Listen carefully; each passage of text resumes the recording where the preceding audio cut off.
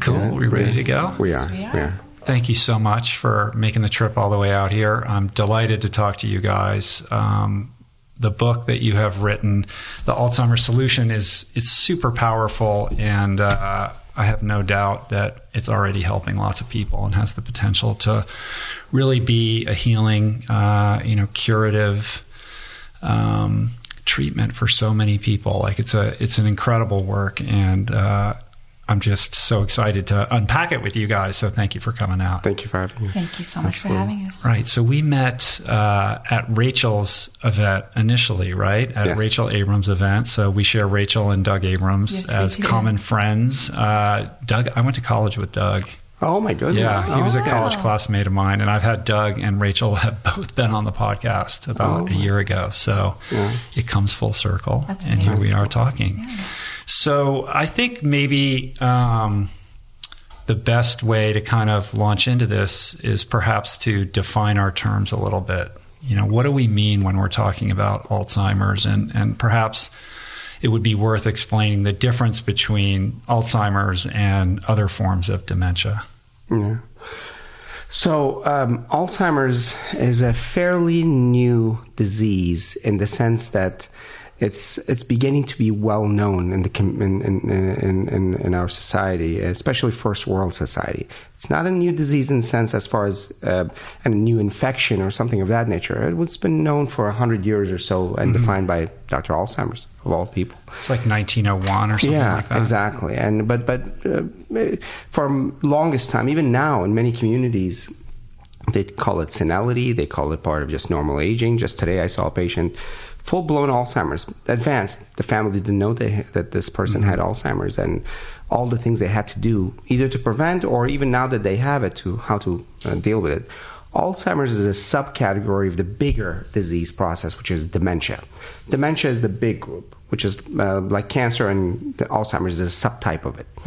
Um, but it's the biggest category. 60 to 70% of all dementias is Alzheimer's. And um, since 1990s, when first President Reagan was diagnosed, and from then on, it became more known and more studied, and billions of dollars spent in, in, in research in the field. So why you say it's a relatively new disease? I mean, it's discovered in 1901, Correct. and we're, now we're seeing you know seeing it at epidemic levels, and the Correct. growth curve is insane. So what is you know why is it a recent disease? Why is it just coming online now, and why is it accelerating at such a rapid rate? I was. It was a play on words. It's not a, dis- new disease in the sense that it, uh, in the human experience, it's a new disease as far as our understanding of it, its prevalence, its massive growth. I mean, we're talking about every other disease in decline, pretty much every other disease, or death from every other disease in decline.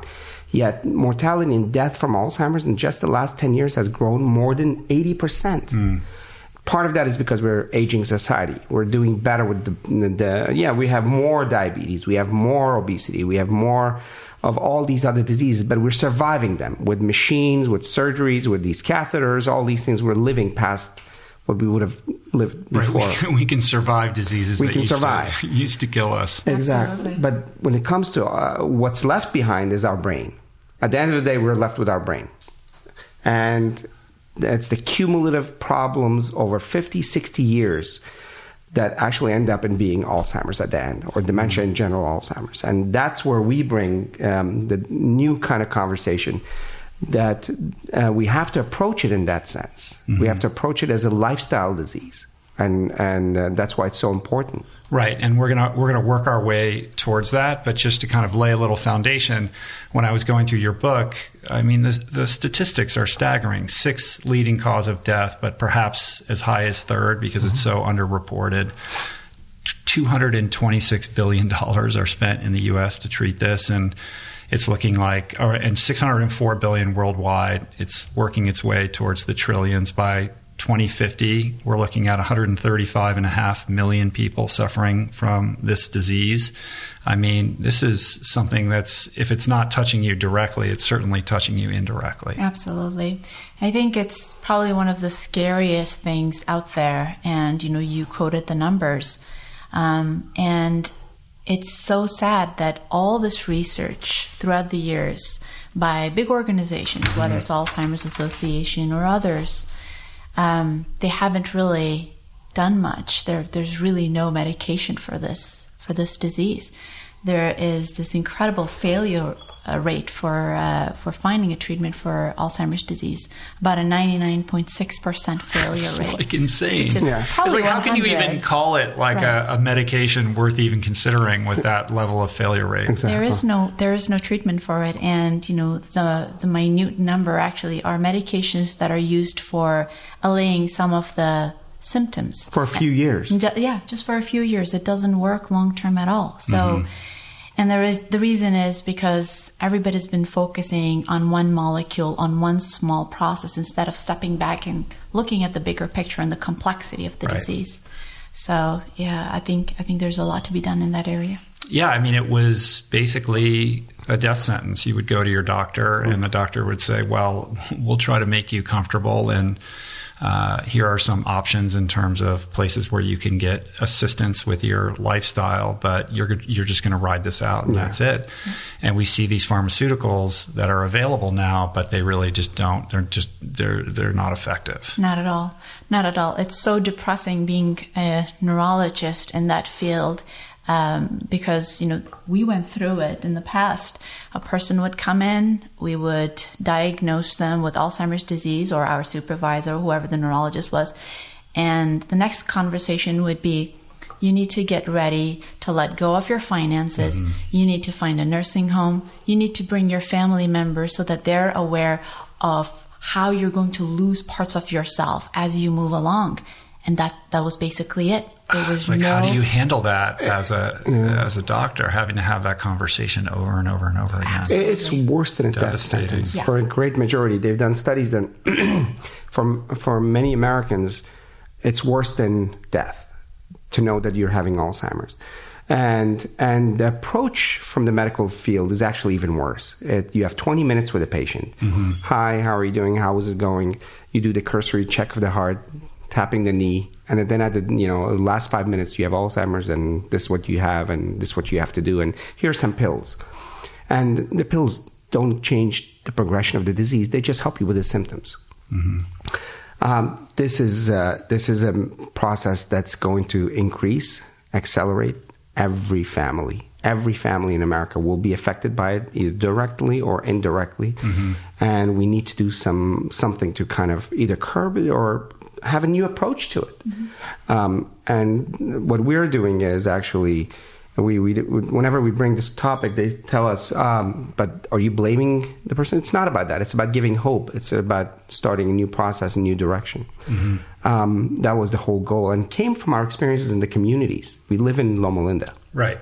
The story of how you evolved into this perspective for, for treatment and you know prevention is unbelievable, right? Because you're coming, you know, you're hard nosed scientists, you know, immersed in the scientific method, you know, raised to be doctors in the in the Western tradition, and had your experience with that, and, and then kind of evolved into what you're doing now. But to give it some context, maybe let's explain a little bit of your background. I mean, I know you met in Afghanistan, which that's probably we could spend two hours on that probably. but, uh, but I mean, Dean, you were you were at NIH, Correct, yes, correct. and Ayesha, you were is it Ayesha? How do I say it? Ayesha. Ayesha. Ayesha, Two you were at uh, UC San Diego, correct? Yes. Both practicing neurology. Absolutely. Mm-hmm. Yeah, we actually came into this field because we both had grandparents who had uh, dementia, severe dementia, and um, you know they were incredible human beings and they were our heroes. And I remember having my grandfather's picture on my desk throughout my medical school because I wanted to be like him,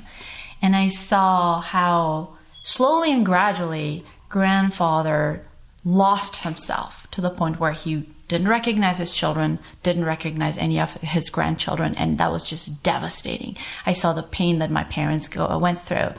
And for this brilliant person to slowly and gradually become a child again. Hmm. So it affected us, and we wanted to study neuroscience and the brain and its beauty and its complexity. But you know, as you go on through the period of you know getting educated in the medical field, you come to a point where you're in a clinic with a dementia patient, and there's really nothing you can do about it, and that was just depressing. Yeah. Yeah. Well, a sense of powerlessness. Very. It is. Right? It Very. is. It's um, uh, UCSD is the well, at the time with Leon, where uh, we, it was number one neuroscience program in the country. Uh, NIH is an IH, and um, we were we were actually at UCSD and study after study after study, billions of dollars. A mouse model, uh, it worked on mice, so let's apply it to humans. Again, a failure. That's at least 100 to 300 billion dollar uh, million dollars per study, you know. And it was just incredibly frustrating. First of all, the mouse, mouse models, 50, 60 things have worked on mice. For even blueberries work on mice. I mean, I think if you just look at them in the right way, they will work on the mice. Mice do not men make.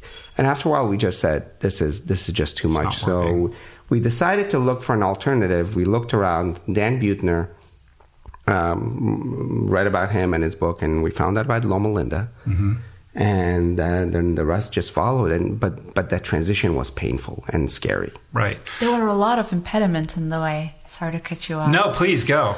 because um, you know the way you're trained in the medicine world is to look at cause and effect and look at a linear path of how A affects B. How does A influence B, and what are some of the other factors that come to it? It's very, very myopic, and the way research is funded by NIH or other governing bodies is just that to have a linear model of looking at associations and studies after studies after studies have just looked at very small things at a time and not the bigger picture. And we were so excited to see studies from loma linda or the blue zones um, coming and showing that there is a different perspective to look at. There is lifestyle. There is you know this complex nature of of the foods that you eat or whether you exercise or not and the interactions between these lifestyle factors they matter. And it was painful because i remember clearly when we were um, showing interest in doing something of that nature or studying populations we were told by our mentors and you know some of the prominent people at universities um, things like oh you're this is career suicide for you you do know that there's no future in this if you decide to leave ucsd and this fabulous say for example a molecular molecular research that you're doing and you're going to go and study epidemiology and population studies nobody's going to fund your research Right. Yeah. Yeah, you're breaking ranks with Yes. uh, you know with with core tradition, and that's a frightening thing. It is. Um, and you know, just to touch on what you said earlier, you know that is the the by its very nature the reductive nature of the scientific method, right? And there's reason and rationality for that, and it works in many cases, but it's inherently flawed with respect to some Agree. ways of approaching problems, right? Because it's not just one thing; it's a it's a matrix of an infinite number of cofactors that interrelate in this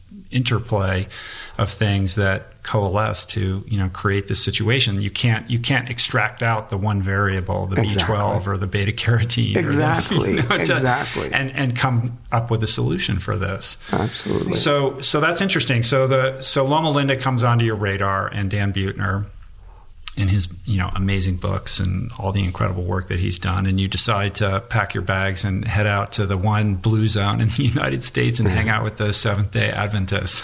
Yeah, Yes. The- it, it, it was it was a frightening endeavor. Um, um, I was the director of the Brain Health Center. She did her she so we said we're going to go all out. So she did a preventive medicine residency, a neurology residency, and then with two kids with us. Um, I was in Loma Linda as the director of Brain Health Center, and uh, Ayesha went to Columbia University to study vascular and uh, epidemiology at Columbia University. Two years, flying back and forth every two weeks. We Most said we're going to go difficult all out. Oh, my God. We're going to go all out wow. and study. And at night, she would study culinary. i went to cooking school Right, I know. Do you Yeah. did the you did the Rouxbe school? I did. No, I actually went to Natural Gourmet Institute Uh-huh. and then went to Rouxbe. I did the Rouxbe online as well. You're just like collecting all kinds of degrees. It was fun, to be honest with you.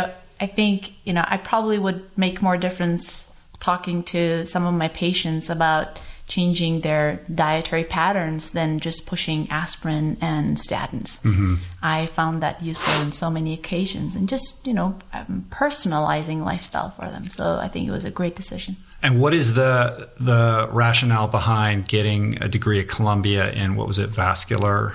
Yes, it was vascular neurology, neurology, and epidemiology. So mm-hmm. it was a combined um, uh, training in stroke, understanding um, diseases of the brain, especially vascular disease of the brain. And the epidemiology side highlighted prevention and understanding how disease patterns exist in the population. Mm-hmm. It was so funny that while she was there in the first year, they, they want to get you into research, molecular research. And she, she said, No, I'm going, going to study population research. She said, Okay, there's this study uh, in uh, um, California teacher study why don't you look into that data? So she flew to California, and collected the data, and did that study with Mediterranean diet, plant based component of it, and stroke. And lo and behold, she that paper was highly touted. She won the youngest researcher award for American Heart Association, and wow. the Columbia people all of a sudden turned around. Oh, so, so everybody was excited. So she was the youngest plenary speaker in the American Heart Association, talking about lifestyle and stroke. Mm. So the very thing that they thought that would not really make amount to anything, all of a sudden turned out to. So every step we've taken, completely non-traditional, has turned out to actually resonate and make a difference. And hers, the show that what um, the more people lived a plant-based lifestyle, closer adherence, yes, as low as forty-four had low had about you know forty percent lower risk of having strokes. Wow, uh, forty percent, forty percent. We have no large population. That's amazing. Yeah. So when you're in this situation in San Diego, being frustrated with you know the sort of standard operating procedure of, of treating these these patients with dementia, did you?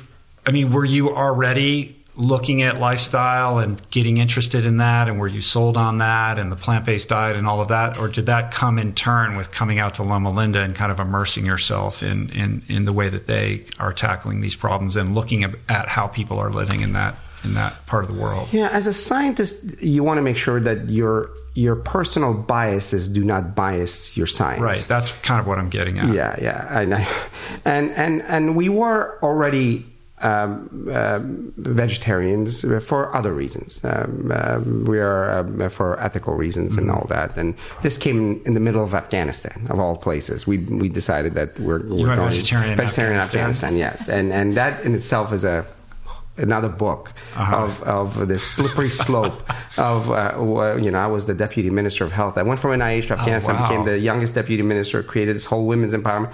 But the, my downfall was that I became vegetarian. Uh-huh. Nothing else. Oh, All that was like political suicide, suicide. for you. Yeah, yeah. Oh, yeah, almost, yeah. almost. Yeah, yeah. absolutely. Okay, wow. absolutely. But, um, but, but that aside, when we came to Loma Linda, we really, even now, we, for example, some of the things we say is sugar is worse. Mm-hmm. Um, but we, we, we let the science do the talking. We, we, as a scientist, you can't let your personal biases direct the science but the science is just overwhelming. It's not just us. It's, you know, yeah, you get these little blurbs of fad diets here and there. Let's do keto. Let's do this. Let's mm-hmm. do that. Plant based living has been proven over 100 years, thousands of papers, validated papers. It doesn't mean that somebody just did one little paper, five other people repeated it. This has been powerfully shown. The Adventist Health Study showed that people who live a certain life, more plant based, live 10 years longer and healthier than everybody else in JAMA, not just in regular journal, top journal in the mm-hmm. world that was published, and many other things. Cancer risk is lower and everything else. The only thing that was left to show was brain. Mm-hmm. So we studied the brain, and uh, while there, we actually looked at my clinic or our clinic, which we saw thousands of people and this is at the center of this Seventh Day Adventist community. There's nowhere else for them to go. Right. Either they come to me or they just stay home. As far as uh, yeah, you're you're looking for candidates to study, yes, right? And there's yes. nobody to study because no. there's you go to the gym and everyone's 90 and they're doing push-ups. Absolutely. Yeah. I mean, Dr. Yes. Wareham did yeah. surgery at 95. It's insane. It yeah. is, And yeah. he's still running around, you know. Is Yeah, he's, he not, he's not practicing medicine anymore, right? No, no, no he retired because he wanted to travel. Right. Yeah. Not because he had a tremor or he was right. feeling tired. He's just an incredible strong uh, and very very healthy person. I had patients eighty something saying that uh, you know I'm running the the marathon in, in LA. Uh, are you joining? I'm, i was like a little embarrassed. I was like, no, not this year. Yeah, yeah. But, but, this is an eighty something year old running a marathon. I mean, that's uh-huh. amazing. Yeah, it's not unusual to see that on a regular basis. Absolutely. So so this is, uh, and then uh, the clinics were more people from outside. Right. Right so, beyond 10. So, yeah, so you come to Loma Linda, we're going to study brain health. We need all these people that we can evaluate to create this population study. no one's showing up at the clinic. No. And ultimately, you have to kind of uh, go across the tracks over mm. to San Bernardino, where there's a lower, lower socioeconomic class of people, and people are, are suffering terribly there from all manner of lifestyle illnesses. Absolutely. The disparity is just enormous. And, um, the devastation that you see from Alzheimer's disease and other, you know, all the other risk mm-hmm. factors for Alzheimer's disease is just incredible. And so, it, you know, of course, you know, they're the same population. They're living under the same sun and probably the same zip code, and they have the same supermarkets and restaurants. So it had to be something else, and that gave us a very good opportunity to compare the populations and study lifestyle and how it affects brain health. It's so crazy. Yeah. yeah. like on over here, you have people in Loma Linda who are living crazy long lives, yes. active lives, and you know, literally, you know, right next door, you have a population of people who are having a, an extremely different experience. That's right. And that that's that's a great place to um, begin a study, right? Yes. I mean, that juxtaposition is quite potent. Dean and I would um, go to some of the churches and some of the synagogues in the area to speak about brain health. And you know how many talks have we done? Yeah over 100 talks. And i say that i've given more talks in churches than some of the, mm-hmm. the ministers. I mean we we went to church after church after church in order to draw people because i think right. it's a great place you know. Um, and and they were very willing the catholic diocese and everybody to willing to listen. And it was overwhelming. Yeah yeah, most of their male leaders, faith leaders, were not there. It was mostly run by women because they uh, would pass away. Uh, you know, after say, for example, age sixty-five, mm. you would you would barely find anyone beyond age sixty-five there, and the ones that were there were you know had a lot of health issues. So it was quite prominent, even without doing any research, just by having conversations with you know the the, the, the society, the communities um, that there was this incredible amount of um, need for health awareness and disease prevention. Mm-hmm. So you then spend the better part of the next like 15 years studying studying these correct, people, right? Correct, correct, absolutely. I mean, my PhD thesis was on seeing how you can get information into different communities. And this is a little bit of digression, but um, uh, we looked at uh, African American, Hispanic, and Caucasian population, or it's not even, we realized that it's not even the race thing, it's socioeconomic and availability and access. Access is always access mm-hmm. to information, access to right foods, and all that. Um, in, in certain populations, this lower socioeconomic, information, knowledge about stroke, about dementia, about all these diseases was non existent. It was just disease of aging, just a clump and access to the kind of foods, the kind of environment to walk, the kind of communities that actually build around health, the blue zones we were talking, was not available. Mm-hmm. And and then most importantly, where they deemed where they thought that that information could be given to them, they could be receptive, we had it all wrong.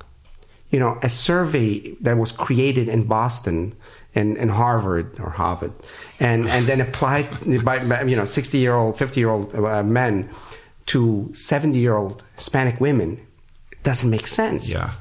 So we realized that that's not where you do the training. That's not where you do the education, the clinics. It's in the communities. That's where, uh, actually, that's where this whole book, uh, we created a um, community driven brain health uh, or healthy minds initiative. Mm-hmm. And all the profits from the book will go into building community awareness in different communities throughout the world as far as brain health is concerned. Mm-hmm. So these people start coming into your clinic and the idea was what? Like, we want to understand how all of these people are living, what is contributing to this disease of the brain, and start experimenting with protocols to reverse it or prevent it. Correct. Is that sort of the, the, the master statement behind this? That's exactly right. Yeah. And then what do you start to learn? So we collect data on nutrition, exercise, the things that we know. Um, you know, uh, the only thing that we didn't collect uh, was stress. But um, as far as physical activity, as far as um, you know. Uh, uh, all these elements sleep um, and mental activity, not profound data, just superficial data, just every just conversational, we collected it. And over and over again, we realized that the people that were healthy, 90 year old that just had minor memory problems, they were the people that kept their mind active. They they walked all the time.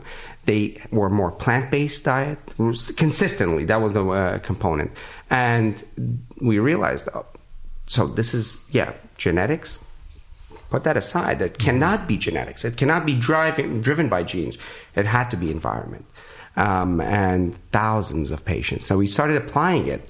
Uh, we didn't apply it to Alzheimer's patients. We applied it to people what they call mild cognitive impairment, people who have who are at risk, very high risk. People who are mild cognitive impairment, they have a, a 50% of them go on to develop Alzheimer's. Mm-hmm.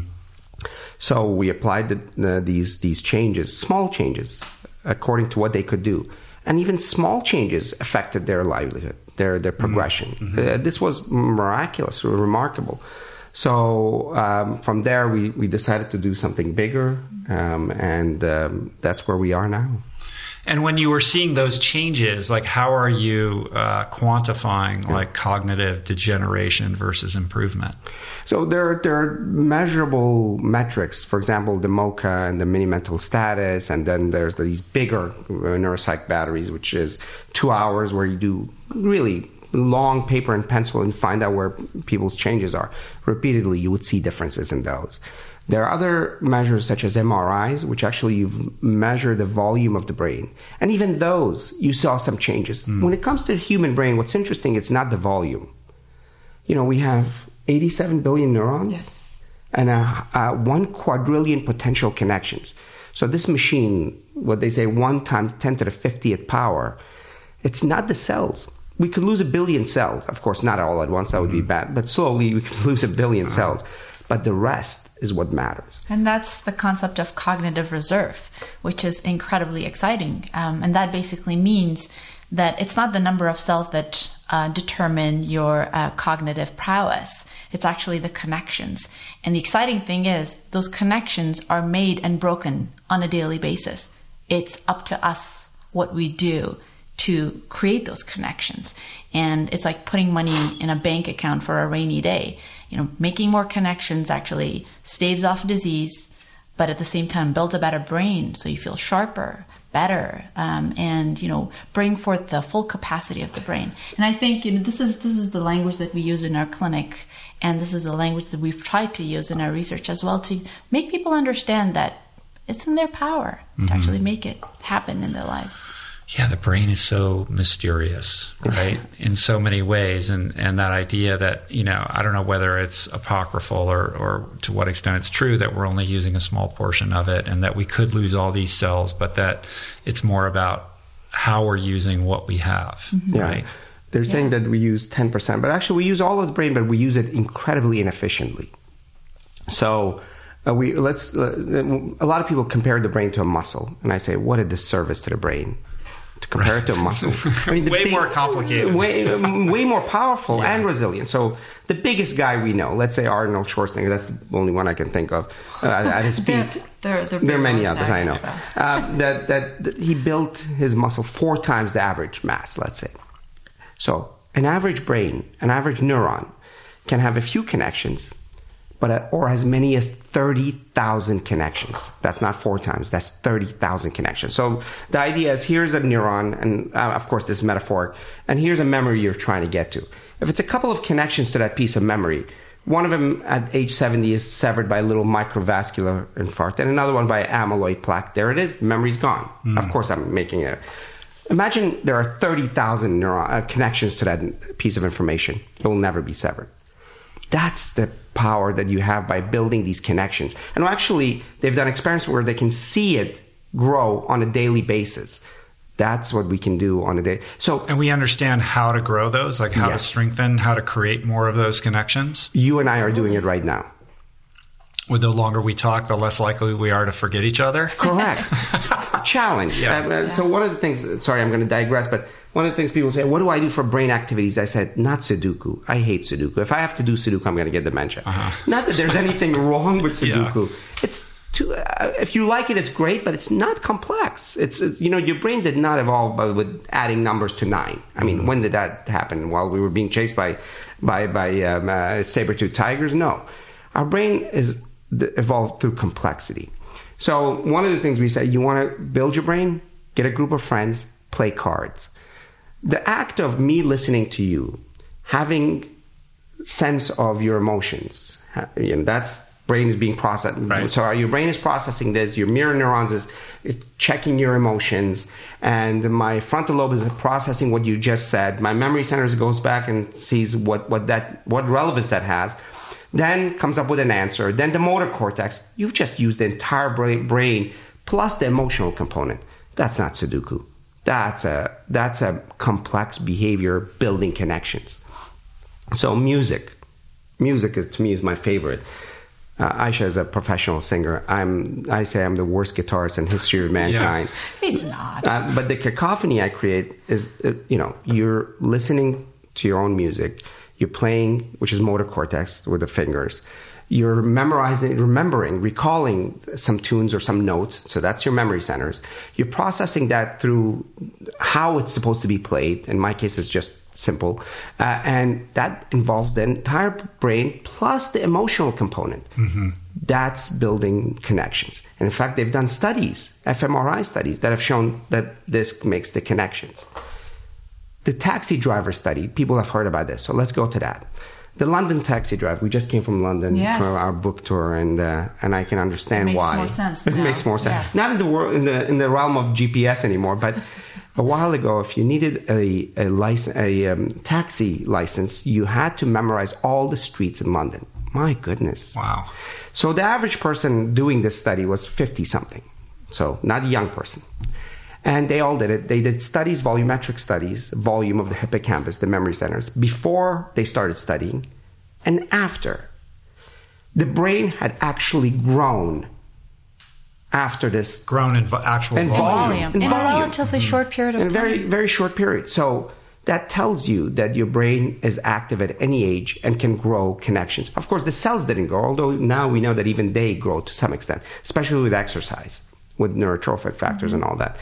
You, have done a lot of good to your brain with, with, exercise. Yeah, I've probably damaged it in many other ways, but no, there's reserve. There's plenty yeah. of reserve but but those connections grow and we see it in by volume mm-hmm. uh, so it's wonderful so it's a book of hope you know um, that you can do something and it's not even about alzheimer's now here's a uh, talk about the, uh um, uh, dropping ball it's it's about avoiding alzheimer's it's about resilient, fulfilled, vibrant brain activity late into your 80s, 90s, and beyond. Using the full potential of the brain. Yeah. Right.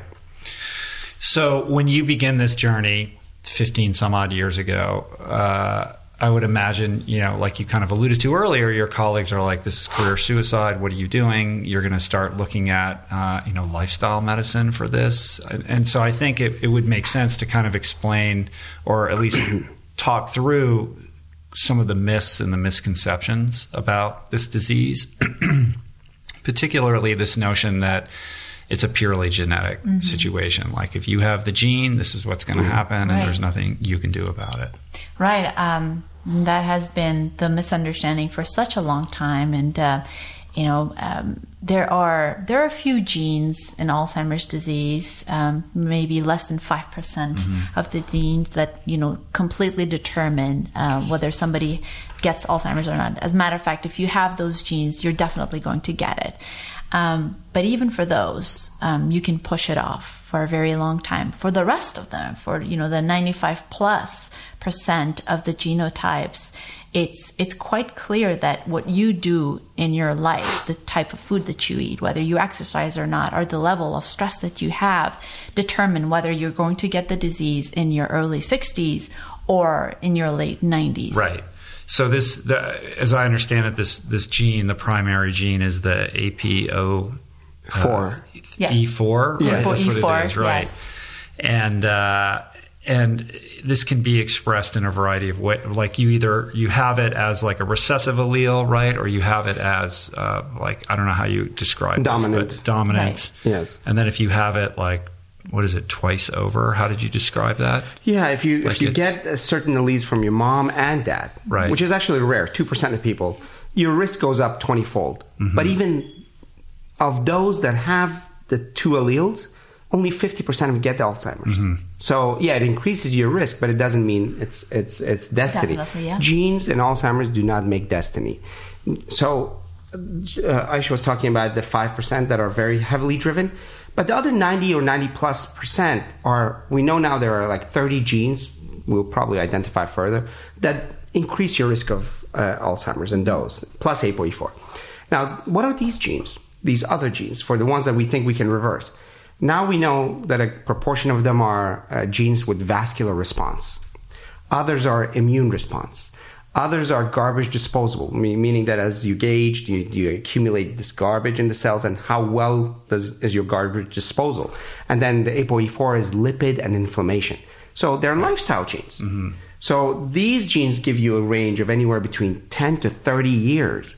What you do in life determ- decide, determines if you're going to get it early on or as late as 90 or beyond. Right. So, the magnitude of how these genes are expressed is contingent upon what you're eating and how you're moving and how you're living your life. completely, Absolutely. Right. completely. And and what's interesting, let's let's get into like the contributing factors before we get into the solution because you kind of broke this down into four categories. We have inflammation, we have oxidation, we have glucose deregulation, and we have lipid dysregulation. Right. So these are the four main things that are driving uh, the expression of this. Absolutely, absolutely. So when we're talking about inflammation, let's just go through these like seriatim if we could quickly Yes. and explain what these mean. Yeah, so inflammation is a normal part of the body. Yes. Yeah. It's a constant process that goes on, and we have mechanism in place that get rid of them.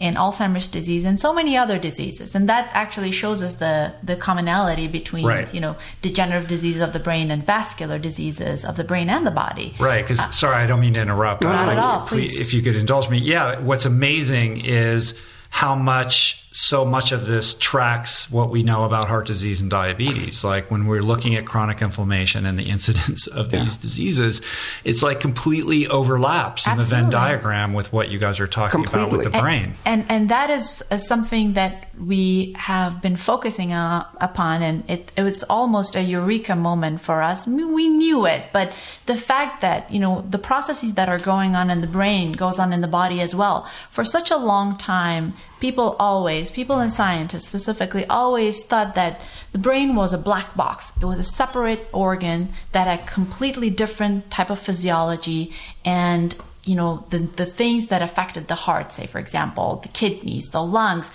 couldn't affect the brain. But that's not true. It's the same process we talked about inflammation. You know there are certain mechanisms that are not working very well and inflammation builds and that's how it starts destroying the brain structure whether it's the cells the connections the supporting structures of the brain. And and the inflammation is actually associated with the other processes with glucose dysregulation which is essentially the glucose not being able to used properly by the cells. Lipid dysregulation where the proper fat cells that create and metabolize cells they stop working. And then um, you know all of them together start you know depositing the bad proteins which is essentially what all the scientists have been focusing on but not looking at the upstream processes. Yeah, so it's it's almost like all these paths lead to one point, the amyloid, which actually starts 20 years, 10 years before, and then everybody just focuses on that endpoint. Uh, we we've made an animation, hopefully coming out soon. It's a it's a, it's a little boat. You're in your 30s. In your 30s, you start having some blood pressure. so the there's- boat is an analogy of a person or, or, or the brain. Yes, or the and brain, then there's yeah. a little hole in the boat. And then there's inflammation because of overwhelming uh, bad food and things of that nature. So that's a crack in the boat. And then oxidative byproducts because of uh, the, the fact that you had certain trauma or because of head trauma or other things. And so by, by 50 uh, or 40s, the amyloid, which is water, starts seeping in. and uh, the holes are accumulating because of all these other things. And then about 60 or 65, the person is sitting on, uh, on a boat and they feel the water. But the boat's already one third full of water. Uh-huh. And for the last 30 years, all we've been doing, billions of dollars, taking a little cup trying to get rid of water. Uh huh. You could get rid of all of the water, but if you don't address the inflammation, the crack, if you don't address the glucose dysregulation, the, the boat's still going to uh, uh, sink.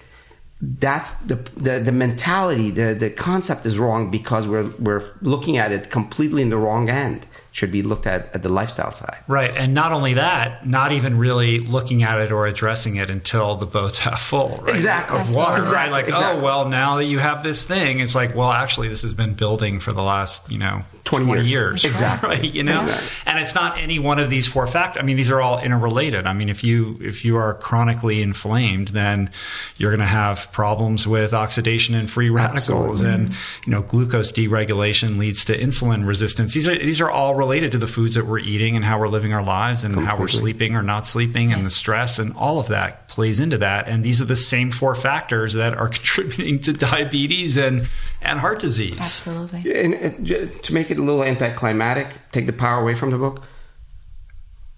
Whatever you knew about heart disease, apply it to brain disease. Right, because when you're talking about when you're talking about amyloid, you're talking about the plaques that the amyloids create in the brain, right? And so, I mean, is it fair to draw an analogy to the plaques that are in our arterial system with heart disease? Is there is there a rationale in comparing those two, or is it completely a different? It's a thing? different kind of plaque. Uh, uh, amyloid, although you have amyloidosis and other diseases that happen systematically as well, but the amyloid in the brain is a little different. But but at the, but in reality, it's the same process.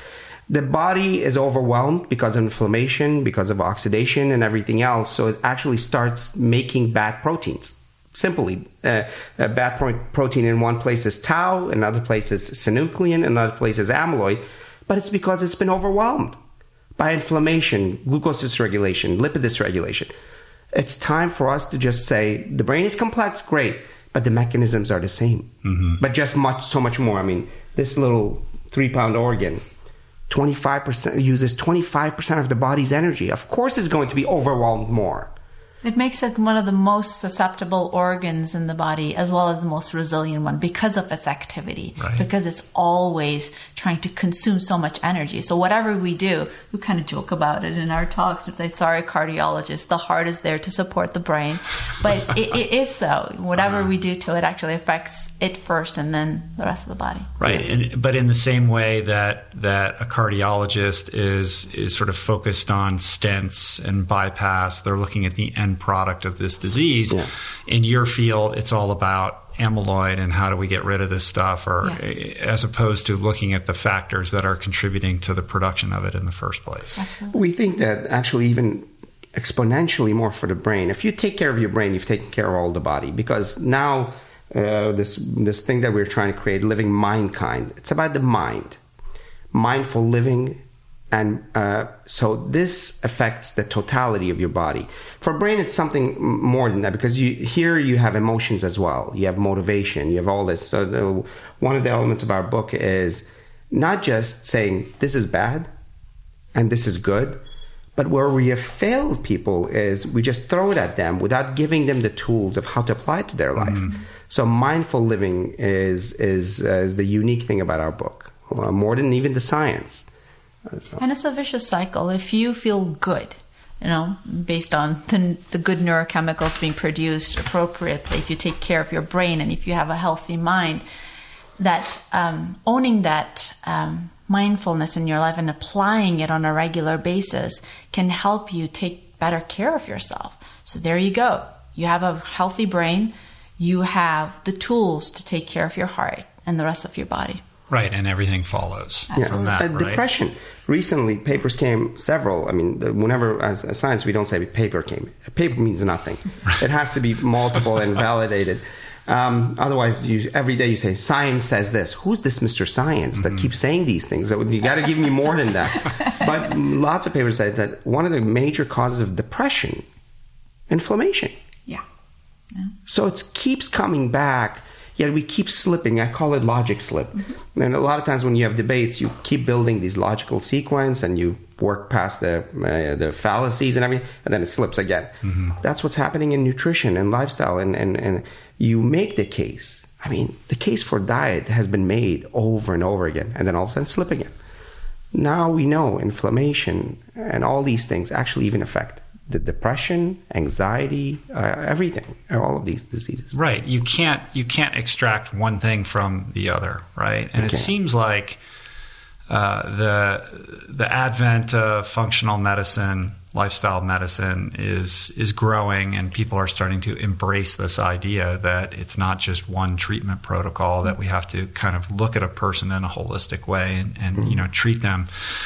Um, you know all the way down to you know how they how they interact with their family members and at work and what's their relationship with their boss and you know all of that stuff is crucial oh, right absolutely. to kind of solving this problem. Well let's talk a little bit about the path forward in terms of prevention and reversal. Like you break this down into five categories right? Nutrition exercise unwind restore and optimize. So maybe we can spend a little bit more time in in, in, in unpacking the nutrition part of this in, uh, in detail. Yeah, absolutely. Um, it's um, it's been quite clear, you know, from studies coming from the Adventist Health Study and the, from the Women's Health Initiative, and you know, decades of data that show that a whole food, which is unprocessed, plant-based diet, low mm-hmm. in sugar, seems to be the best dietary pattern for for the brain and it affects all those processes that we just talked about lowering inflammation, uh, managing uh, glucose metabolism, managing lipid metabolism, providing the best source of macro and micronutrients for the brain to thrive, to grow, mm-hmm. to heal itself. And you know, study after study um, shows the same thing over and over again. And by just looking at populations, you know, the Seventh Day Adventist population, um, you rarely see dementia. And the ones that do have dementia either have it very late in life or they have had other uncontrolled risk factors in their life. And so the idea of nutrition, you know, we try not to tell people to become vegetarians in the in the clinic. I mean that it doesn't work that way, and especially for people who have not been vegetarians throughout their lives. Um, not just going to hit them with that right over no, the head right when they walk in. Doesn't work that no. way. And I think, no. and as th- I think as, as scientists and as doctors, we failed over and over again because we have this um, cookie cutter approach for everybody. Just do mm-hmm. what I just do this, and you'll become better. It doesn't work that way. It has to be tailored according to their resources, to their likes and dislikes to what they can own at that moment in their life and move forward with it. So it's making small incremental changes on a daily basis. Um, we one of the talks we gave to one of the uh, African American churches. Afterwards, they invited us, and it was all women, of course, uh, and wonderful. And said, "Dr. Sherzai, it was a wonderful talk. Yeah, we love you very much. We love you so much, but if you expect us to go vegan overnight, it's not going to happen." I said, "No, no, no, no. That's not the aim. The aim is to work towards." So in the book, we said WTE, WTI work towards eliminating, work towards increasing. It's small incremental changes. And and the the most interesting thing is in in that research project that I conducted in the California teacher study, we we essentially created a statistics to look at adherence levels to a plant-based diet. And every incremental change, every increase in the score of adherence to the best diet lowered risk of stroke, lowered mm. risk of brain diseases. And, you know, to tell people that even if you replace, you know, an unhealthy meal with a small salad or, or just replacing small, making small changes actually makes a big difference. And we've seen that in the clinic. And I think that's, that's empowering. At the core of this is motivation. And the word motivation is, is a terrible word.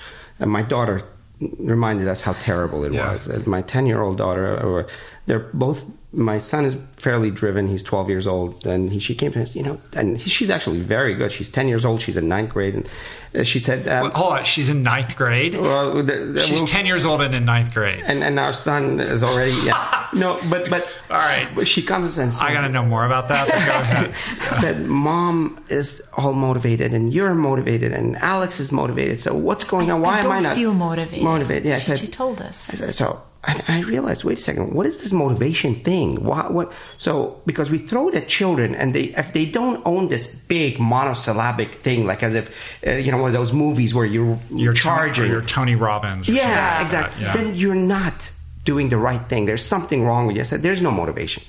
Motivation is small increments of success in a direction that you've set. That incidentally, your brain and your brain always this does this. I'll give you a perfect example of that. Uh, you have a blind spot. We can do experiment and we can figure out where your blind spot is. Your brain fills in that space. And hundreds of experiments like that where your brain fills in information fills in color fills in, in knowledge uh, when somebody's drunk they confabulate people say oh he's lying. No your brain is forced to create a story. So this filling in is a natural part of human brain to make itself comfortable. So when you have a series of successes in a direction with a vector with a purpose purpose purpose is the key your brain creates an emotion to it. Mm-hmm. And that emotion has a direction, that's motivation. So we just operationalize motivation. And so if you want to change people's behavior, you don't just throw it at them. In fact, the reason that most of healthcare is a failure because it's sick care. In medicine, we don't learn behavioral modification at all. Four years of college, highly driven people whose mom or dad told them to become a doctor. I've just offended a bunch of people, but for, for a large Pretty- percentage. pretty much true for a lot of people. Exactly. And then so it's like study, study biochemistry, this and that, but nothing about lifestyle and all this. And then you have or four understanding human behavior and how to relate to another human being. no, too. because they're high, hyper-driven people. The rest of the people, you know, medical school worse. So it's just mm-hmm. biochemistry, anatomy, histology, memorization. memorization. Then four years of residency. My gosh, that was until recently. That was just um, uh, going through, uh, you know, military was school. torture. So that's twelve years, and then fellowship. So you've come out as a leader now. You're a doctor. Patients come to you, and by the way, fifty percent of your pay is going to be how to train them, uh, train the patient, or teach the patient about lifestyle never happens. You don't know. So what do you do? You at the door. You've done the check. You've done the knee thing. You've set. The, And, and it's how healthcare reimburses you. They reimburse you Right. more on the notes and your examination and what, five minutes of counseling? yeah. Not and then at the door, at the door, you say, by the way, eat healthy. And most of the doctors don't know about what that means, so they've Googled like everybody else. So it's either this gimmick or that gimmick. Ketogenic diet or paleo and things like that. Mm-hmm. and then the person is left at the door in the clinic lost so they, they look at this. This is incredible. If i i, I want to actually create controversy so that there's conversation. Controversy is great. Conversation. Um, what happens is the patient's left. I have blood pressure. I have diabetes. And i know that it's related to my diet. And he said i have to eat healthy. There's no information. Forget about information. Forget about behavior. They give up on it. Not only do they give up on that they also give up on their medicines. You've done double damage it's time to change the conversation towards how you truly empower patients you go to their communities or in the clinic give them one behavior we give one behavior Yeah. You- we know what sugar is cut your sugar we know what saturated fat is. You're eating this much cheese for, in a week? How about here's a plant based cheese that you can get from this place? Just change that for a week. Right, something very specific Tangible. and, and Yes. doable that they can that they can master or And that they can work on. Exactly. Something to check off on a regular basis so that it becomes a deep bound habit and they feel success in doing it and they don't have to think about it. Right. And that's when you introduce the next step. Yeah, just uh, get almond milk, not regular milk Right. or whatever. Exactly. Just make that one change. One And, change. You know, getting back to your earlier point, it's it's a systemic problem. I mean, these doctors are well intentioned. You know, whether they understand nutrition or not, like Absolutely. everybody wants to help their patients. They're under their own pressures, right? They got to move on to the next person. And you hear time and time again, well, I could tell them to do this or that, but they're not going to do it, right? And there, there's sort of a pessimism, I think, and a condescension that's built into that.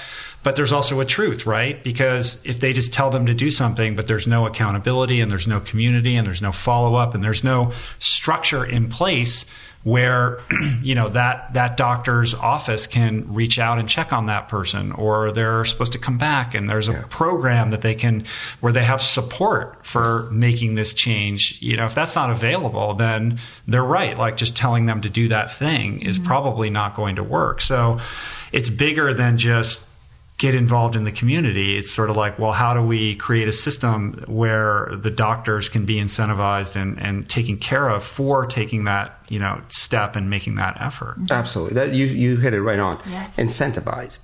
I mean, they have to make a living, and not only forget about living. The doctors are willing to sacrifice their money, their time, but there has to be time allotted and a system created that where even the doctors see their behavior coming to a success. So the doctors are motivated. So uh, the first step in everything is conversation. I think uh, one of the most important things we can do, and it started, it yeah, has started, started yes. is to say the way we're doing medicine right now is not healthcare. It is important. Sick care is important. When a person comes with an infection, they need a medicine. When a person comes with a blood pressure of 200, you're not going to say go eat, you know, this. That's mm-hmm. that's a long term thing. You have to take your medicine. That's sick care. It's important. But there's another side, which is healthcare, which has to be incentivized. There has to be a mechanism. People can't just rely on goodwill where I'm going to go at nights to the clinics or this or that or to churches. There has to be a system created where we can prevent. But you know what? That system, when it's created, will reduce the cost of healthcare by 80 to 90% by itself. That's a pretty staggering statistic. Yeah. So we just have to make the choice as, as a society. Uh, and even the choice, you know, we get caught up in the politics of right, left. No, once there's enough information that overwhelms and and and everybody sees the benefit in this for their kids. I mean, we don't. Well, this book is not about just Alzheimer's end of life. I mean, our kids are overwhelmed by sugar, mm-hmm. yeah. and then we tell them they have ADHD. Well, they might, but a great proportion just have a lot of sugar. yeah, there's no question about yeah. that. And, and also, you know, I want to get back to the nutrition piece in a minute, but, you know, what I took away from it is that it's a book about how to live your life now so that you don't have to deal with this when like if you're you could read this book as a 20 year old and say well i want i want to take care of my brain and this is the way to do it because those amyloids and all this sort of stuff that goes into creating, you know, the dementia and the Alzheimer's, this is going on all the time, right? Yeah. So it doesn't just suddenly strike you at age 65. Like it's just like heart disease, like you're working on this your whole life and mm-hmm. it has to do with the diet and the lifestyle. Yeah, absolutely. absolutely. So on the nutrition piece, so as just so we're totally clear, as scientists who have uh, you know studied this disease for a long time and treated a lot of people, you're sold on the whole food plant based diet. This is the this is the way to go. Absolutely. Yes. As a scientist, we say to the best of our knowledge today. Mm-hmm. I, that to me is the most powerful, the most humble statement in English language. I think forced certainty is the cause of a lot of our conflicts science is open to change. I mean, tomorrow, if they say if you eat a steak, I'm not going to because of other reasons, but I would say, okay, it, it sure. I doubt that it's going to come, come. But to that, right now, the data is just overwhelming. Mm-hmm. Um, and uh, a lot of times in discussions, when any discussion, they fail you by, by falsely holding you to absolutes, saying, but there's not cause and effect science cannot create cause and effect. Mm-hmm. It can create strong correlations, very strong. Even now, we can't create cause and effect with cigarettes because you can always talk your way out of it. You know, even if you give people, even if it was mm-hmm. ethical. But there's a tremendous amount of data that a plant, whole food plant based diet is overwhelmingly protective. Yeah. Is there any uh, positive benefit with respect to brain health? For is there any argument that there's something healthy about eating meat when it comes to cognitive health. Like, is, well, yeah. Go, go ahead. Sorry. So, nutrition science is, um, you know, has its flaws. Um, the way we're recording diet right now is through food frequency questionnaires or diet uh, food diaries and things of that nature. Um, and um, you know it has its strengths when you look at the different components of meat the saturated fats and the animal proteins. You know whether it's animal studies or human studies they're not good I mean, the data over and over comes back and shows us that saturated fat actually causes those plaques in the arteries in the brain that supply oxygen and nutrition to the different areas of the brain, and they get clogged when saturated fat is very high in your diet. Plus inflammation and everything else. Plus inflammation, plus affecting glucose metabolism as well.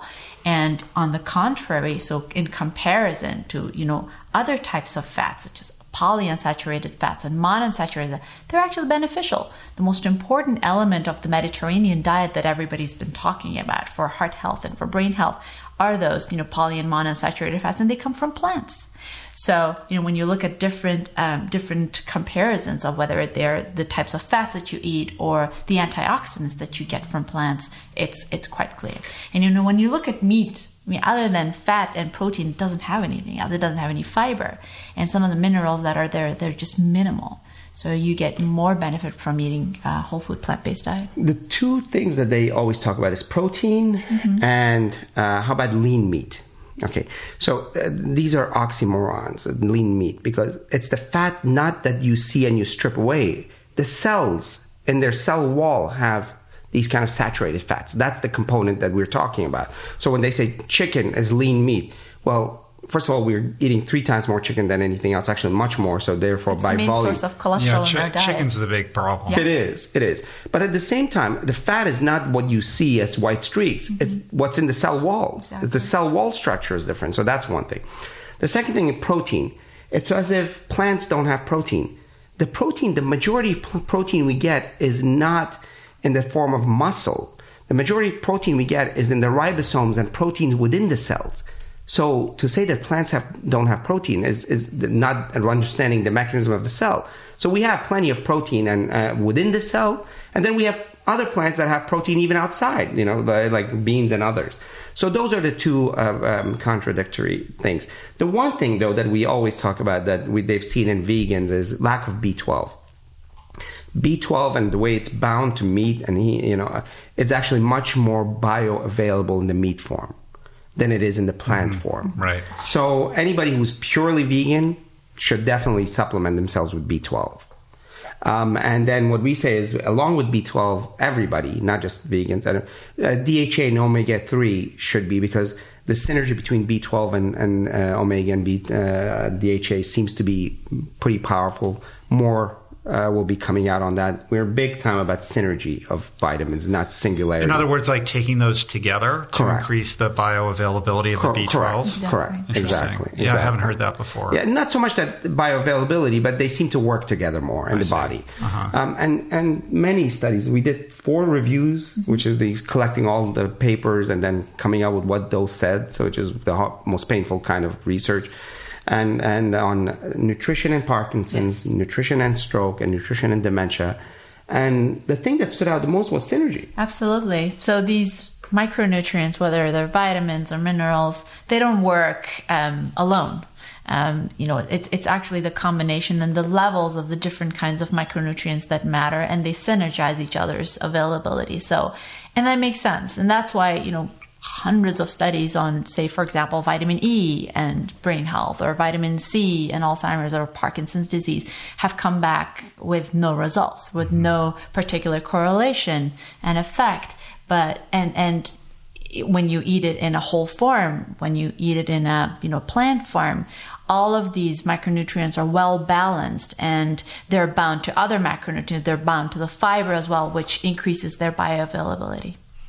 One of the things that you hear is is that uh, you need healthy fats for brain health. Like the brain needs good fats, right? So that's true, correct? Mm-hmm. So yes. when we're talking about healthy fats, what are those healthy fats? What are the you know we talked a little bit about saturated fat and animal fat, but like how do we parse the difference between a healthy fat and an unhealthy fat?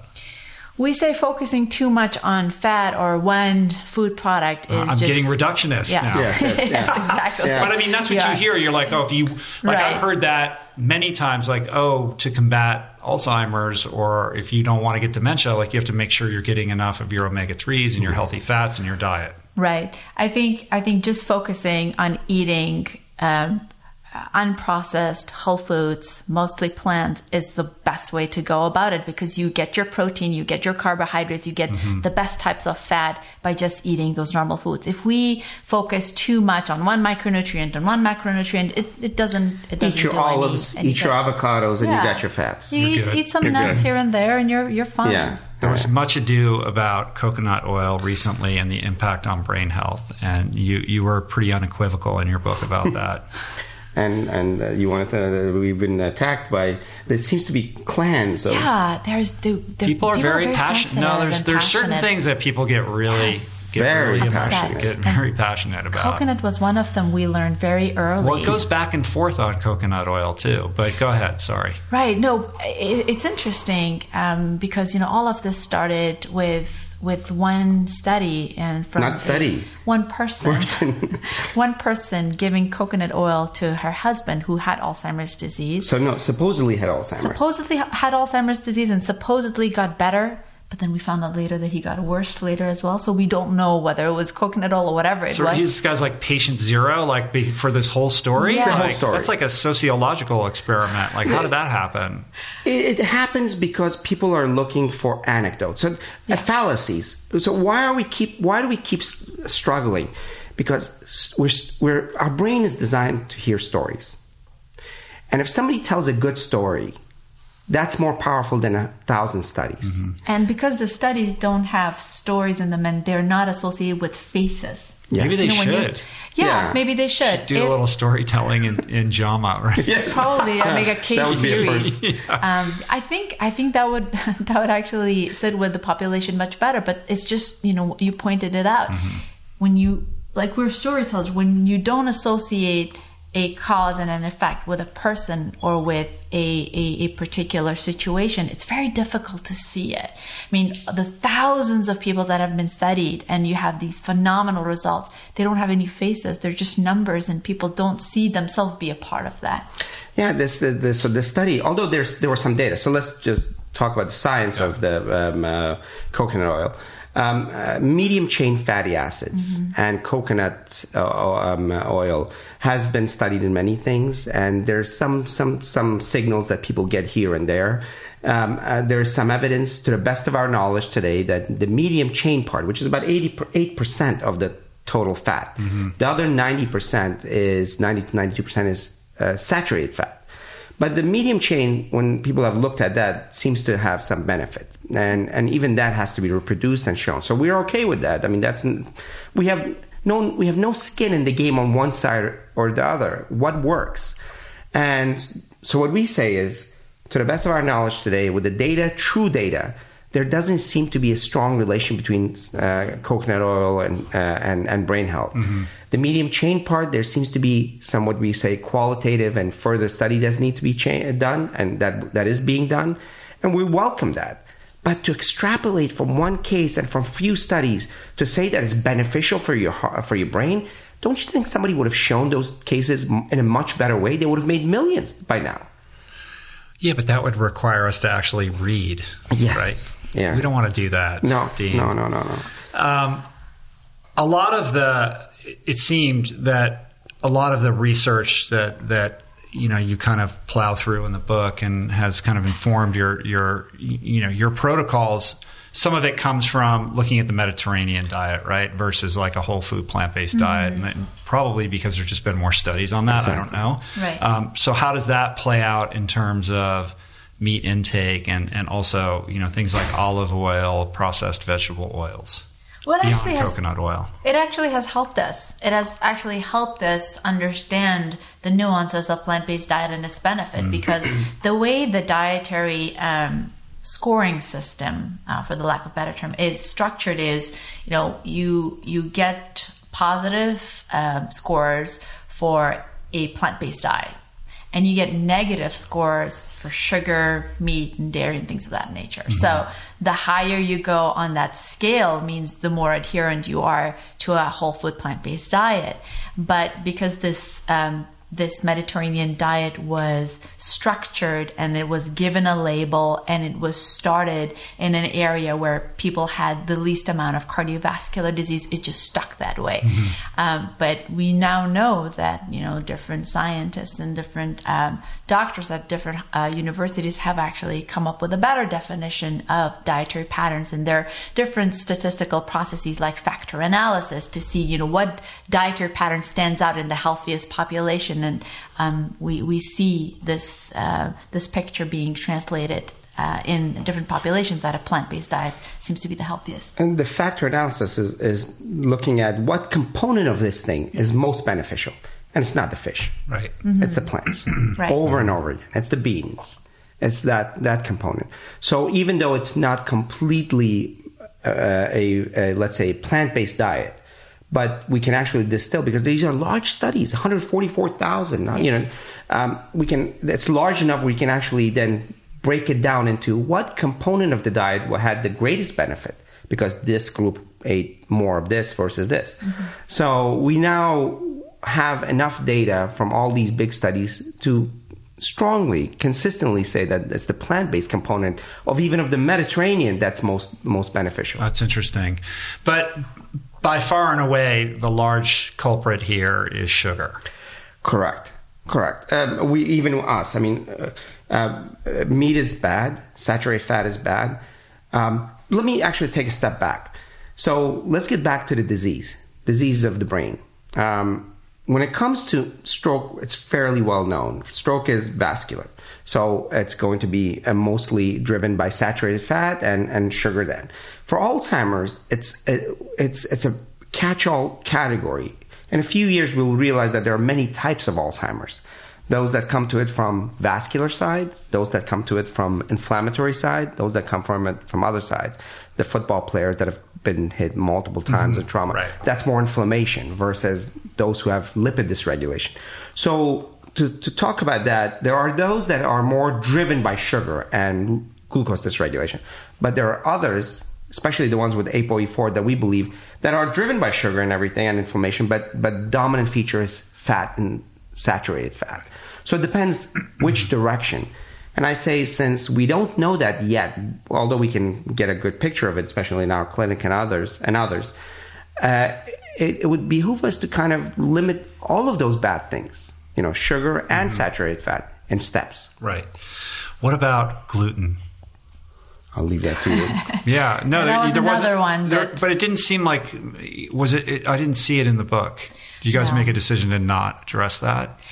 Oh well, because there really isn't any data that supports the idea that gluten is, uh, you know, causes harm to the brain. There's, you know, probably one or two percent of the population that are sensitive to gluten, and they have specific allergies. Right, and, and that creates inflammation. It creates right. inflammation, and it actually has other repercussions in the body, gut health and skin health and musculoskeletal issues as well. So it's a constellation of problems that people suffer from. To, for gluten to just affect the brain, there's really no there's no data that supports that.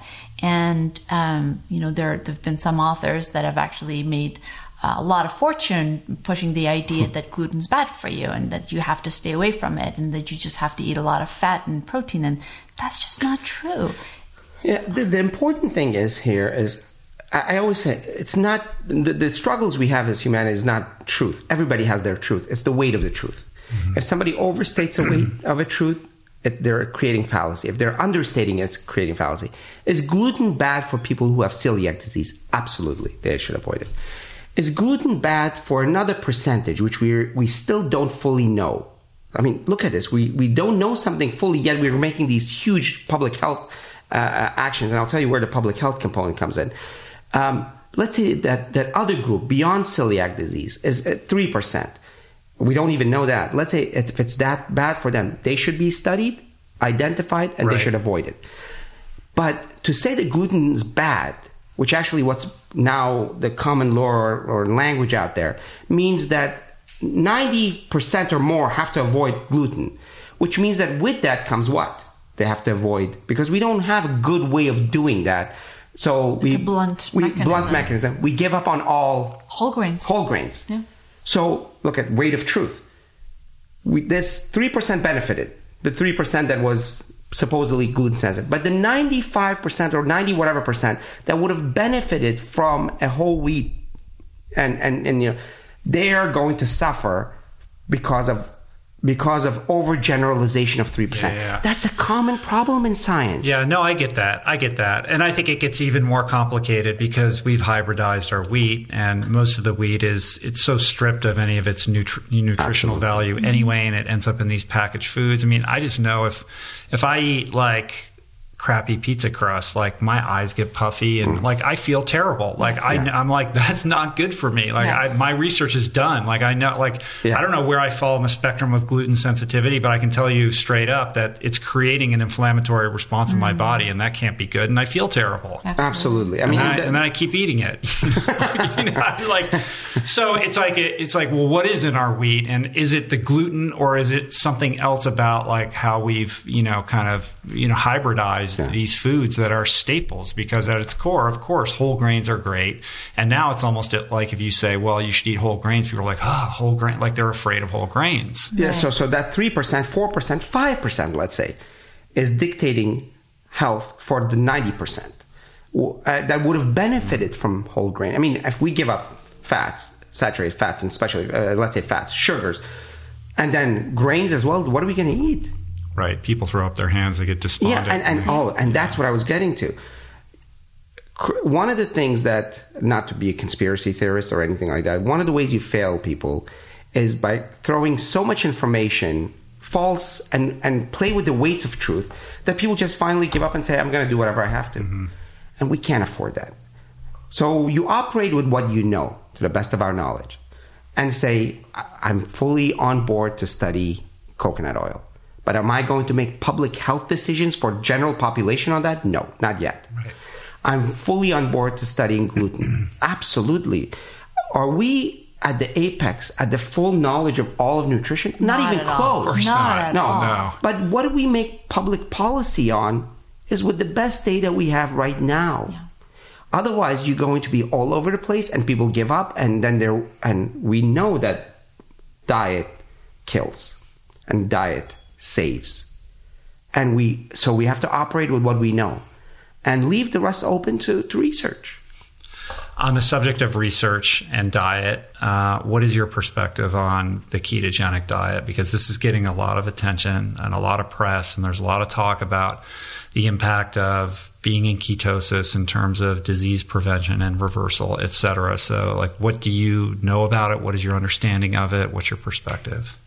So the process of ketosis is essentially a um, a period of starvation for the body and for creating um, alternative fuels that the body can use. And it has been studied. Specifically, we'll talk about the brain diseases. You know, for certain um, epilepsy diseases of uh, Right. of children. Not- not all epi- not- epilepsies. There's certain, Certain type. epilepsies, and it it's helpful. It actually makes them have less seizures, and it makes them function better in their lives. But um, usually, it's a very short period, a very quick, blunt method of controlling seizures in that population.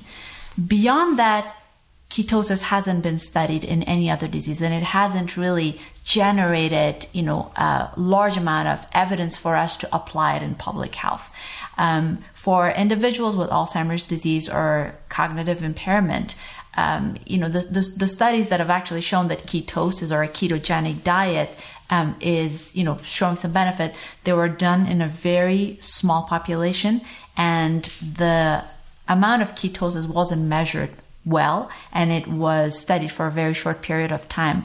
It makes sense when you look at the cellular structure for um, the ketone bodies to provide fuel for cells that can't use glucose anymore for advanced stages of the disease because the cell structure has been you know has been destroyed and there's been a lot of inflammation and dysregulation going on.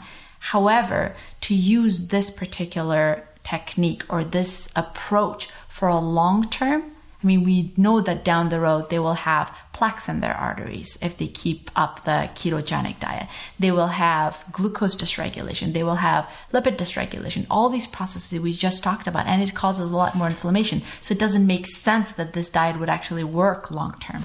Um, do people feel good uh, using it initially? Absolutely, and I'll tell you why. And do people lose weight? Absolutely, because if you're going to stay away from carbs, let's say. Um, you hold about two to three uh, pounds or more of carbs in your muscles. And as that gets burned away, used, and the water that's connected to it, anywhere between six to 10 to 12 pounds of weight is lost. So, wow, I just lost weight. Absolutely great. Why do you feel good? Because here's a cell that needs glucose, it needs energy. I mean, we, we talked about how much energy it needs the usual mechanism or the usual energy source is glucose, the most effective way, the, the, the functional mm-hmm. energy source. Mm-hmm. But in order for glucose to get in, it needs receptors. It's not, it's a very fickle uh, process. It has to find the receptor. And if there's too much sugar in the body, what happens? The cell internalizes the receptor because it's shocked. So now there's, it's, it's swimming in sugar, but it's starving of energy. So it's it's very difficult process of getting not difficult, but more complex than mm-hmm. than ketone of getting sugar into the cell. What ketones, its small cell, molecule, gets right into the cell. So it has the cell has energy. So what? So people say, I feel better. I feel more awake. Of course you do initially and for a while, but that doesn't mean that long-term benefit is there. Now let's look at how you achieve ketosis. Mm-hmm. It's not a natural state. You have to have this incredible diet that is also high in saturated fat and or fat and very all, little in carbohydrates, less than 5% of carbohydrates. Initially, there's even reduction in inf- inflammation with ketone uh, studies. But long term, it's always about the long game. If people want short game, I'll give you 50 different ways where you will lose weight, cut off your arm. You, they will actually, uh, yeah, they will, they will actually feel better. I'll, I have lots of pills out there that'll make you feel better. Long term gain everything we're talking here is about long term gain, the long game. I'm a Pittsburgh Steeler. It's a long game. Uh, it, it, it has to think about what could truly, how did your body evolve? Did it really evolve in this way? They said they bring paleo. Really? You're going to bring example of people who only lived up to 30 years of age to give me healthcare for me living at 80 years of age? Mm-hmm. Does that even make sense? And if you think meat was the way to go, I was a hunter. We had a farm in Virginia with a shotgun. I barely shot anything weekend after weekend. Go chase a rabbit without a gun. I can't see. I'm trying to picture you with a shotgun on yeah, no, right that was now. terrible. Like blowing my long, mind. no, time long ago. time ago. but but so the, the science, the paleo, you know, the anthropology, everything is so wrong. I still say we're open. Show us the data. Let's not jump ahead of ourselves because it has public health implications. Yes. We're just beginning as physicians, we're terrible with this prevention side. We're just beginning to accept some of the things that have been proven to apply behaviorally. Now, all of a sudden, because somebody wants to sell the book of the day, and by the way, you know, plants are poisonous to you, and the first reference is wrong in the mm-hmm. book. I mean, so that's why it's, it's. I think I know what book you're talking about. Yeah. but we need to say what works, what has been proven. We're open. Let's apply this. And if anybody brings newer ideas, like eating paint off the wall is going to, you know, give you less Alzheimer's, let's study that. But I would like you to try that first. Right. So the research right now is pretty unequivocal. Like adopting a whole food plant based diet is going to have a big impact yes. in a positive way. Mm-hmm. Are there if I'm not mistaken, aren't there studies being done now on psychedelics on brain health and dementia? Is that true? Marijuana, Marijuana is what, or, or, the yeah. components uh-huh. of it. It's, it's CNR, yeah, and all the other components are being studied, and and, and it, it, it, you know we're we're excited because for a long time, social biases were stopping these powerful drugs from being studied.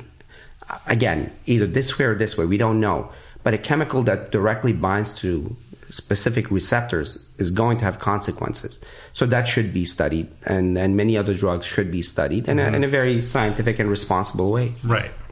All right, so we we went through the nutrition part, but we there's four other things here in your book, right? We got, I mean, exercise is kind of self it's self evident, Yeah. right? Uh, not there- really. But, all right, well, what do you mean by that? so everybody comes to us and says, "What? I, I walk. I walk around my neighborhood. They have an inflated sense of of what of what Yeah, they're actually I'm doing. active. I walk Right. around my living room do and my kitchen all day long. Uh-huh. And we tell them, well, that's wonderful, but that's not exercise. That's meditation. You know, walking around the neighborhood may be good for you. You're moving naturally. But for brain health, it has to be strenuous. There has to be some level where you're breaking a sweat and you're not able to finish a sentence when you're speaking. And there's been studies that actually show that in those moments where your strenuous activity comes to that moment where you know your heart rate is raised that's when the chemicals start uh, being released in your blood whether it's brain derived neurotrophic factor or others and those are the ones that make those connections those are the ones that increase the size of your hippocampi as a matter of fact there was a study a couple of years ago where Several, they, actually. yeah the, the one particular one Yeah. in a large sample population where they compared um, individuals who just you know did stretching and some pilates and yogas and the others w- were um, working with a physical trainer and they did strenuous physical activity three to four times a week and after two years they had they literally grew the size of their hippocampi That's crazy. you know Wow. and Yeah. and these are individuals who are That's amazing. you know in their in their uh, midlife and that's i think that's such an incredible And empowering uh, piece of information for all of us When you're talking about exertion, can we get specific in terms of whether we're we're talking about aerobic exercise versus anaerobic exercise? Uh, so the, the data is still coming. Uh, some of the data is kind of interesting, exciting, and and uh, uh, kind of throws us for a loop. For example, people with bigger legs had lower dementia. a twin study Really? Twin study. twin study so Identical they studied twins. Bigger meaning like More- more thicker, muscles. like a more, more muscle mass. Yes. More muscle mass. Uh-huh. So so the ones who were more active actually had a bigger brain from the So- same genetic background yeah, so was it? So in, in research, Do they you have have- bigger legs because they're they're exercising more, or do Yeah, they, exactly. So- it's not just they have like, No, no, no. They're actually, Muscle because, mass. because they have same genes, mass. so there has to be something Uh-huh. else. But directionality in science is important. Were they healthy? Therefore, they retain their muscle more. So, But then other studies show that leg strength um, uh, has correlation with brain brain health, and, and kind of makes sense because your blood gets to your heart. Well, your blood gets to your heart because your legs have the muscles have to pump the the veins to get it to the heart to the brain. So that seems to be so. Even anaerobic exercise seems to have relationship with brain better brain health, but definitely aerobic exercise uh, repeatedly has been shown to to have a tremendous positive effect on the brain.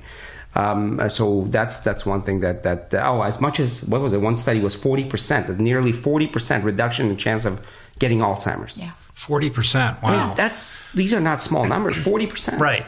But when you're when you're kind of chagrined at the person who said, "Well, I walk around the block." I mean, Right. that's kind of a blue zones thing, right? Like it's it's not about exerting, you know, over exerting yourself. It's just these are populations of people that are just kind of in slow perpetual motion throughout the day. So, so it's Yeah. not one thing. So the, the, you you hit it on a very good good point. So a lot of people are highly educated yet they get dementia, or others who have very little education yet they didn't get dementia because they ate well, and others who didn't who, who ate you know their diet was okay and their education was okay, but they just did lots of exercise, and others who just had complex jobs. So my grandfather and her grandfather were probably the most brilliant uh, people you can imagine. Yet they got the Alzheimer's. For them, it was diet and lack of activity and these kind of things. So it's it's the different contributors. So that's why we say it's a whole person component. It's not just diet. Right. It's not just this. It's the being mindful of a life uh, that encompasses all of those things. So the more of those things you do, the more protected you are.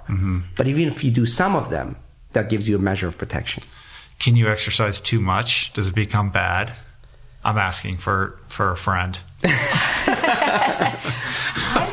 I don't know. I don't know. I, I, I think it like like Dean said, it just depends on everything else. If the, too much exercise is causing stress, then you're probably you know not doing yourself a favor. I just want to make. I don't know if I, I just want to make sure I'm not injuring my brain by running long distances. I'm not banging my head against anything. That's the but, thing. like, I Yeah. think if you're doing if I traumatic, fall down, Right. yeah, no, no, It's yeah, different. Yeah, Your, Yeah. your balance is probably better than 99% of people that no. Absolutely. But if you're doing like boxing and that kind of exercises, absolutely, that's Right. doing damage. Or There's getting no hurt on a regular basis, uh-huh. inflammation, causing Inflammation. inflammation in your legs and in your arms during physical activity, that definitely, Yeah. you know, uh, causes some level of damage. Do you see patients with TBI regularly? We do. Yes, we we do. do. Uh-huh. we do. It's interesting how like that's really come come into the conversation as a real thing, and Yeah. the impact on the NFL and kids playing football and everything. You It know, is. It is. uh, It's uh, quite scary. We actually are in the process of trying. Um, well, it's uh, with the NFL, the retired NFL group, uh, uh, bringing him into our uh, clinic. It hasn't been Oh, wow. finalized or anything, but but there's no doubt that people who get hit, or not even hit to the head, sudden deceleration. You know, this is a bony structure. I mean, if you ever get a skull, you'll actually be be worried that you know there are bony edges there and the brain is floating in a liquid and it's not even a gelatinous liquid it's a liquid that easily moves the brain uh, it's a little more um, uh, viscous, viscous than water but, but it still moves easily so anytime you come to sudden stop that brain is still moving. Mm-hmm. So they say oh we, we created this new helmet and this and how's the helmet's going how is that helmet going to stop the brain from moving within the skull mm-hmm. Right? yeah, and my son always comes up with these things. What was this? The superhero where the the girl is falling at you know uh, fast speed, and this superhero picks him up. So, no, there is she's she's dead. still- the brain stopped. It's a lot of fun watching Marvel movies with, With him, yeah. brain damage. Yeah. You're like, oh, you're like buzz killing every scene. no, no. So so repetitive trauma or repetitive deceleration, absolutely. The small bridging veins are going to be cut. Uh, the inflammation that builds up, uh, absolutely. And you don't have to lose consciousness necessarily. You get brain damage, even you know the lack of loss of consciousness. And do these five factors of nutrition, exercise, sleep, stress, you know, engagement, all of that, can those work to, you know, when you when you have somebody who has TBI, traumatic brain injury, can can these factors work to, um, you know, prevent the further development of that turning into a more profound dementia or Alzheimer's, or, or, or can it be reversed, or are those people just it's about managing it? That's a great question, and that's where the idea of personalization of brain health comes in. So you look at the factors that affects them the most, and you address that aggressively, and of course, you know, bringing in the whole comprehensive lifestyle. For example, if somebody has, we'll talk about it later, but if somebody has sleep apnea, you know, if they're not sleeping well, and there are moments during their sleep where they're not getting oxygen into their brain, you give them blueberries and the healthiest diet in the world, and they're not going to benefit from it. So it just depends on what areas need to be um, uh, attended first. Yeah, uh, addressing that's one this cookie cutter concept. That's where we go wrong when it comes to brain health. It's complex. Uh, not to perseverate and repeat what you said, but we have to, every person comes to this journey of brain aging on in their own terms. We have to identify that that that focus, that area that has affected their brain brain negatively, and that area that they can actually create success. That's where the personalization takes place. So unwind. This is the next category, Yeah, right? favorite. And this is about this is about stress reduction, mindfulness, and specifically meditation. Yes. right? Yes, yes. It's not stress reduction. It's identifying your stresses in life, and there's there's a definition that we use. You know, good stress and bad stress. And it kind of sounds funny, but we do believe that there is actually a thing such as good stress. And, you know, those are the activities that you own. Those are the situations that you understand and you can manage And on a, a regular purpose. basis. Mm-hmm. And it is bound to a purpose in life. And that's necessary because that keeps you challenged. That keeps you on the edge. That keeps you awake. Mm-hmm. And that keeps you motivated enough to do something about your life to move forward. Right, But- like I'm thinking about. Sorry, I interrupted you again, problem, but like no, uh, no, no. I'm thinking about the person who's retired, right, and then suddenly finds himself in the La-Z-Boy chair, bored mm-hmm. and unchallenged, right, is lacking that good stress that Yes. leads to you know the advancement of of aging.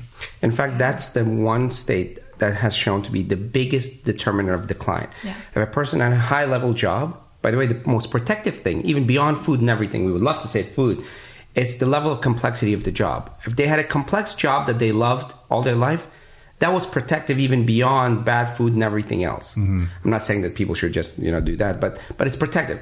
But if they had a high level job and then they retired and they didn't do anything, that determined the highest rate of decline in brain health. That's interesting. Mm-hmm. That's super interesting. Life with mm-hmm. purpose. Yeah. Sorry, Ayesha, I, I interrupted you. No. Please And then I- pick up where I where I where you were. We're flowing. We're flowing. It's a conversation. I love it.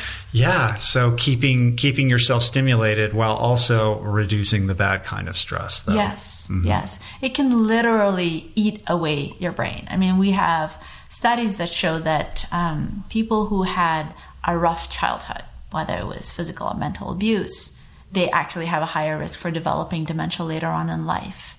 And um, it makes sense when you look at um, people going through stress. There's specific hormones that are secreted in the brain, cortisol and others, that um, change the physiology of the brain, that change the amount of blood supply goes, going into the brain. And um, it actually causes formation of a lot of um, uh, oxidative byproducts that you know reduce those connections that um, jeopardize the structure of brain cells. And they're shrinking. There's literal shrinking of the brain during stress.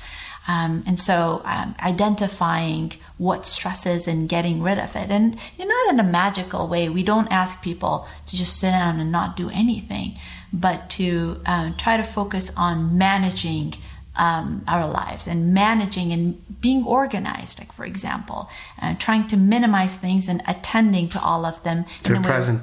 that you can yeah just being in the present and that's the best way to go forward This is the one chapter that's a little different than the other chapters. Yeah. We go into why meditation, why mindfulness, uh, what it does. It actually gives you ability to step back from the moment. We li- people think that urgent living, so m- living from minute to minute to minute, it increases cortisol levels and, and all that stuff. The ability to step back, be it consciously or through, gives you a higher view of everything and, and actually completely reduces those hormones. And they've done study after and increases oxytocin levels. Uh, Paul Zak and his oxytocin, The you know, it- the happy hormone, the love hormone. So it increases that. These are important things. The moments that you can actually create that actually increase the oxytocin and positive hormones and reduce the negative hormones determine the shrinkage of the brain, literally. So we've instituted um, uh, this in our household with our children, Yeah. um, Sophie, Ten, and Alex. And so we, what we do with them is mindful breathing. And I do this in we do this in lectures. yes We're huge. We did this in uh, the Sinai, Sinai Temple. Temple. 500 people, 500 elderly. I said, close your eyes. So they close. I said, something very simple. You'll see it's going. to So breathe in, breathe out. Just be aware of that. Breathing in and breathe out. Next, muscles. You know, you know how it is. The muscle relaxation. Then put yourself in a beautiful place. and next, focus on one item. And we did this for 15 seconds. Yes. I said, open your eyes.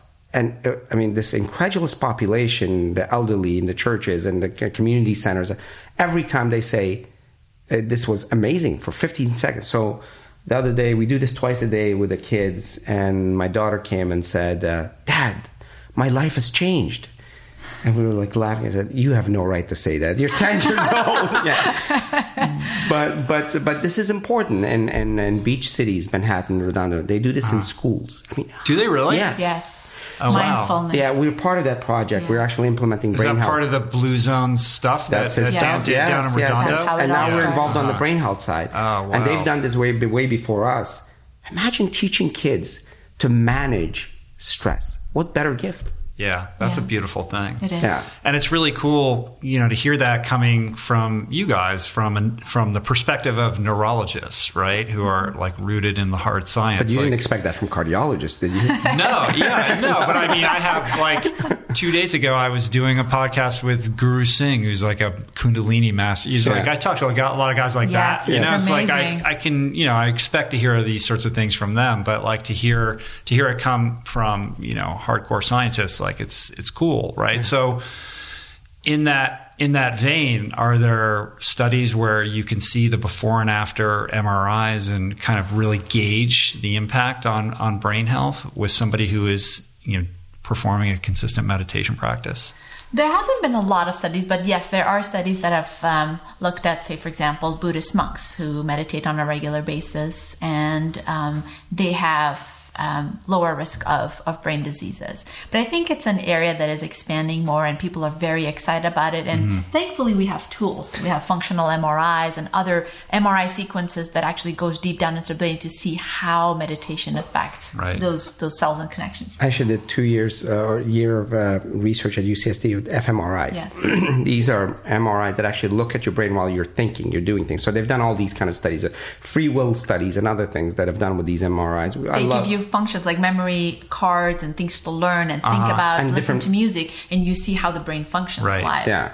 So they've done that with meditation and, and repeatedly. We know that diff- different parts of the brain are brought into function. Um, the brain actually works at a different level. The greater detail has to be worked up uh, as far as how this has to ha- works for your long term health and as far as brain health. Why is it not being done? Because first of all, it's costly. Second of all, you have to get rid of a lot of what in science we call confound, other things that could be contributing. So if you bring a Buddhist monk and put him on fMRI and you see brain is changed, then you have to say, well, this guy is doing a lot of other things that are beneficial as well. Mm-hmm. So right, there's yeah. a lot of confounding factors. Yeah, exactly, exactly. Yeah, yeah, um, sleep. Talk about sleep a little bit. Big, sleep. big, big part of our book. It's um, it's something that's not really discussed much, and um, you know we we lived in Los Angeles, and Dean and I joke about this all the time. You know, you there's always some detox going on. You know, detox of the day, eat this or do mm-hmm. that.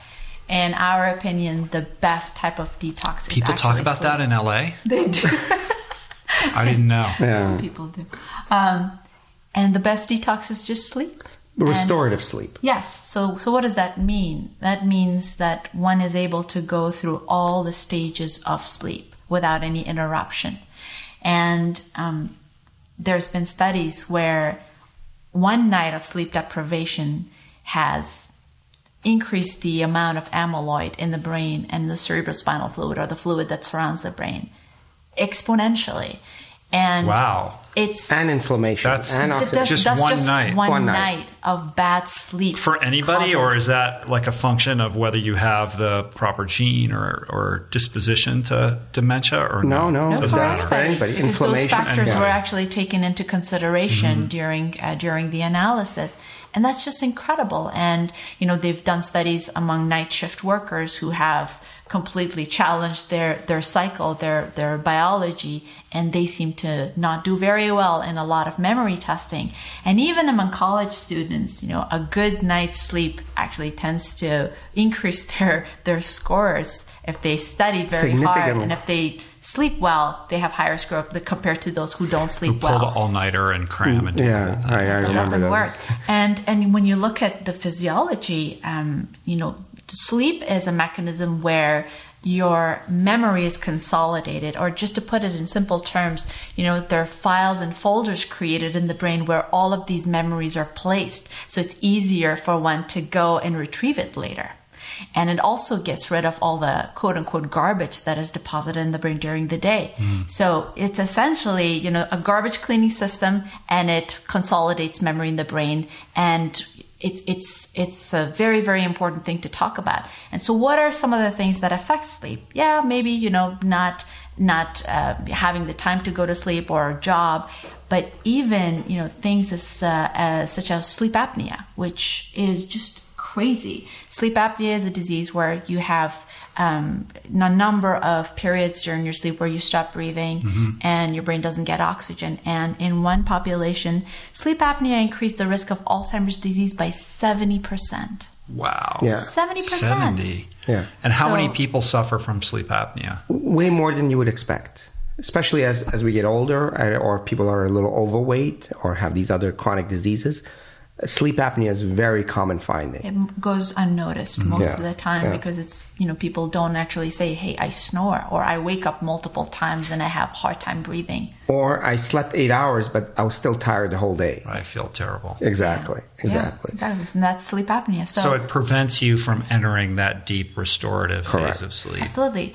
And then the the other thing about uh, medication. I mean, you know, as physicians, we all we we are so quick on giving medication to make sure that you know one sleeps. Medications don't help because yeah, it knocks you out.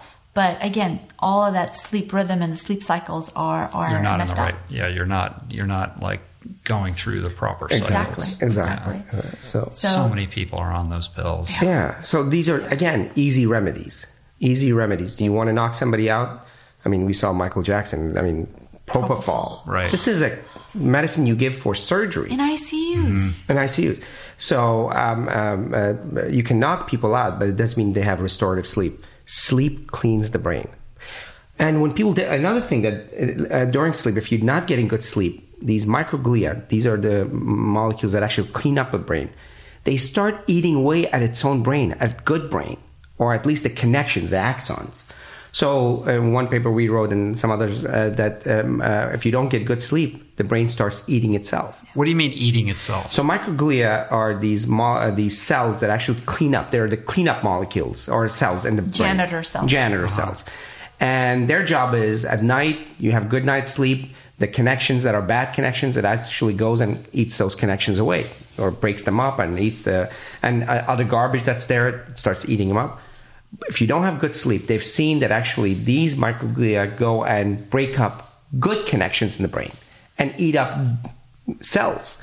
So it is actually destroying its own brain. You're literally cannibalizing yourself. You're cannibalizing Exactly. yourself because of That's lack of sleep. Wow. So sleep is important. Uh, sleep is we don't talk about it because it's what it, you know you just go to sleep, go in the night, you know, in a room and get get knocked out. One of the most common problems in our population is sleep problems, mm-hmm. and the ones that have good sleep, they think they have good sleep because they have, they're taking medication. So if we could do anything beyond diet and everything else, would be create a sleep center that teaches people simple things, sleep hygiene. You know, we don't recognize that as we get older, we don't digest food as well. That we might not hear it, hear the sound or the gurgling and all that, but you're still your stomach's fun, uh, working. So eating an hour before sleep, it doesn't. you- You're you're that's going to keep you awake. And it going, doesn't necessarily have to be caffeine. It can be anything. Yeah. Just the process of digestion keeps us awake. I do that all the time. Yeah, uh, I did that. I mean, Yeah. you read in the book that was a common thing. Yeah. And uh, when I stopped that and a couple of other things, uh, my my sleep became a lot better. Now the book is keeping me up, up and that's, a, that's, Here's a, another- that's a different problem. Yeah, you gotta go. You gotta go back to the, the unwind, comments, the unwind the chapter. paleo people attacking Yeah. me. Are they? Yeah, well, Ayesha's got What so many saying? names, so Oh, many yeah. names. Who's that- attacking you? No, it's okay. Yeah, it's just uh, the cults. Sometimes. Yeah. Yeah. Because they don't agree with you, they start attacking. And and I, I Well, I, it's very, you know this this whole diet thing is very tribal. It is. You know, I It just watched a video earlier today. Our friend Garth Davis, who Yes. bravely went on the doctor. You saw that? oh my god. I, I didn't watch it at the time, and I, I saw uh, Garth write about what the experience was like for him and his frustration about it. And then Plant Based News, which is a big YouTube Yes. channel, like he put together kind of like a whole video where he goes back and forth and does some analysis on it to kind of try to explain what's going on. And and it just it's like wow, this is so emotional on both sides, you know, and and and we're so dug in, you know, and and you know these debates where we're putting you know the Garths and the Lustigs or whoever it is and pitting them against each other. It's like it's like dogfighting, you know, and it's like it's not it's not leading to a greater understanding. It's just creating tribalism in the mm-hmm. same way that we're seeing it being played out politically, and you know it's it's a tricky thing. Like I don't know what the way forward is, but the way that we're kind of navigating it right now doesn't seem to be functioning in a Yeah. helpful way. It's a confirmation bias. One of the biggest problem we have in, as human beings, our brain was designed what they call type one error. If you're running around, let's say Paleolithic time, and you're just worried about survival and reproduction, mostly survival, mm-hmm. and there's a bush there, and you look at the bush and you say, if I do this, um, and I do the safe thing, it's uh, you know walk away um, or uh, the, the tiger is going to attack me, or the saber tooth. Our decision is, is to do what we want to confirm, what we know. So our brain is designed to confirm the things that we're comfortable with at any cost. Doesn't matter how much education you have. In fact, the education just creates language to better that confirmation bias. So I think the way out, if possible, is to step back and not argue the thing, but the way to the thing. Mm-hmm. It's almost like philosophy. You know, uh, it's what is the method we're using to come to conclusions. So the paleo people attack that, but I have, you know, you had 20 people in your, uh, I have 5,000 people following me. I said, that's appeal to masses. But I have these doctors that said that's appeal to authority. But, uh, but you know, this person did this and that's an anecdote, appeal to anecdote. The only way we can make decision is not absolute cause and effect. Who has the most data that shows, and, and the right kind of data, mm-hmm. that shows an outcome? Let's follow that for now and test the rest of them. Yeah, I think so. I think that what's so like baffling about the whole thing is that everybody's a scientist, right? So it should be about data and facts, mm-hmm. and yet, and and we're and we're expecting it to play out that way, and we're underappreciating some of the things that you just referenced, like the the level of emotion that goes into yeah. this and the confirmation bias on both sides. You know, yeah. this gets played out. Um, but it's like these are the guys who are supposed to be above this. Like you're not supposed to get emotional about it. It is supposed to be about the data, and it's just more complicated than it that. Is. You know, it is. It really it is. is. You're absolutely right.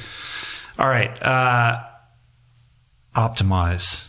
What are we talking about here? This is the fifth pillar in your protocol, your that's program. That's the fun part. I love the concept of optimization because that's again probably the core um, the core of personalization optimizing cognitive activity. What does that mean? Keep yourself on the edge, keep yourself motivated, and keep yourself challenged at all times. And, you know, we see brain games and crossword puzzles and Sudoku, which you don't like very much, mm. uh, being thrown at people, but that's that's not what makes the brain. Um, it has to be something that one can own, and it has to be personalized. So, for example, when Dean and I see some patients, we ask them, "So, what did you do before you got to this point in your life? You know, what what were your hobbies?" Um, and for example, we had a we had, we had a patient who was a car mechanic, and he hated his job, and he had retired, and mm-hmm. he was mm-hmm. having some cognitive impairment and uh, we talked him into getting back into something that he loved and it was making cars. So he just right. got some cars in his garage and he started fixing them and he felt so much better. And you know over over a couple of years his his scores cognitive scores actually got better so it has to be something that one can do on a regular basis that brings a lot of fun. And it has to be something that involves all of the domains of the brain, whether it's vision, whether it's hearing, whether it's judgment, decision making. Um, all of these have to come work in concert. Yeah, getting back to blue zones. Uh, so, yeah, they ate well. They walked naturally, so that might have helped. And not better than not walking. You know, that's uh, better than driving all the uh, everywhere. But the mental activity there is the social activity. Right. It's a, it's the social okay. engagement, right? That's really at the core of this whole thing. That's exactly right. Yeah. Exactly. It, it, actually maximizes the cognitive activity. Right. So I if think. you're not you, you're just sitting alone at home in, in a dark room doing crossword puzzles, right. that's not yeah. that's not what you're talking about. Right. Another measure of disengagement was uh, once a couple of studies came as far as hearing, and we see this often. Yes. Uh, as people get older, as their hearing diminishes, I don't mean deafness, even minimally there's a correlation between loss of hearing and uh, cognitive capacity. So even if the, it's not even social, just ambient noise seems to keep the because oh, un- unconsciously your your brain is doing things that exactly. you're not even aware of. So as you lose hearing, of course your your connection with the people goes down. You have a conversation with somebody and you're a millisecond off because of hearing that's going to make you without thinking that that that, that language remember I, I, said earlier you you come out with i don't like this anymore so they become disengaged from communities I mean, over and over again is almost a surrogate of loneliness it is it's it's you being completely disconnected right. yeah right, right. and and uh, 10% increase that just hearing loss contributed to 10% of dementias so wow. one of the first things we do is check the hearing i mean they think they're not having bad hearing but As we get older, we do. The most shocking statistic in your book was uh, the statistic that um, the spouse of someone with Alzheimer's mm. is 600% more likely to develop the disease. It's, it's 600%. Incredible. It's incredible, isn't it? And it plays to that social piece, right? I mean, what is going on with that? Yeah. Well, that is a phenomenal example of you know the complexity of the disease. I mean, obviously, it's not genetics that causes it, so it has to be shared environment. You know, after living together, you eat the same thing, you move the same way, you sleep, your sleep patterns are similar, you engage in the community in the same way. So obviously, because because the um, the un- unhealthy environment caused Alzheimer's in one mm-hmm. partner, it affects the other one as well. The stress levels. The stress, of the course. yes. Imagine stress levels that Ayesha causes in my life. Oh. no, I just, reduce it's completely the opposite. She's the anti-inflammation person. No, but but you're the anti-stress. No, it's the it's the shared uh, environment. Absolutely. Yeah. I mean, uh, repeatedly, you start eating the same foods, mm-hmm. even though well, you were a chocolate person and I was a steak and cheese person, but now we're kind of well, we're plant-based now, but very much the same activity level we exercise together. Right.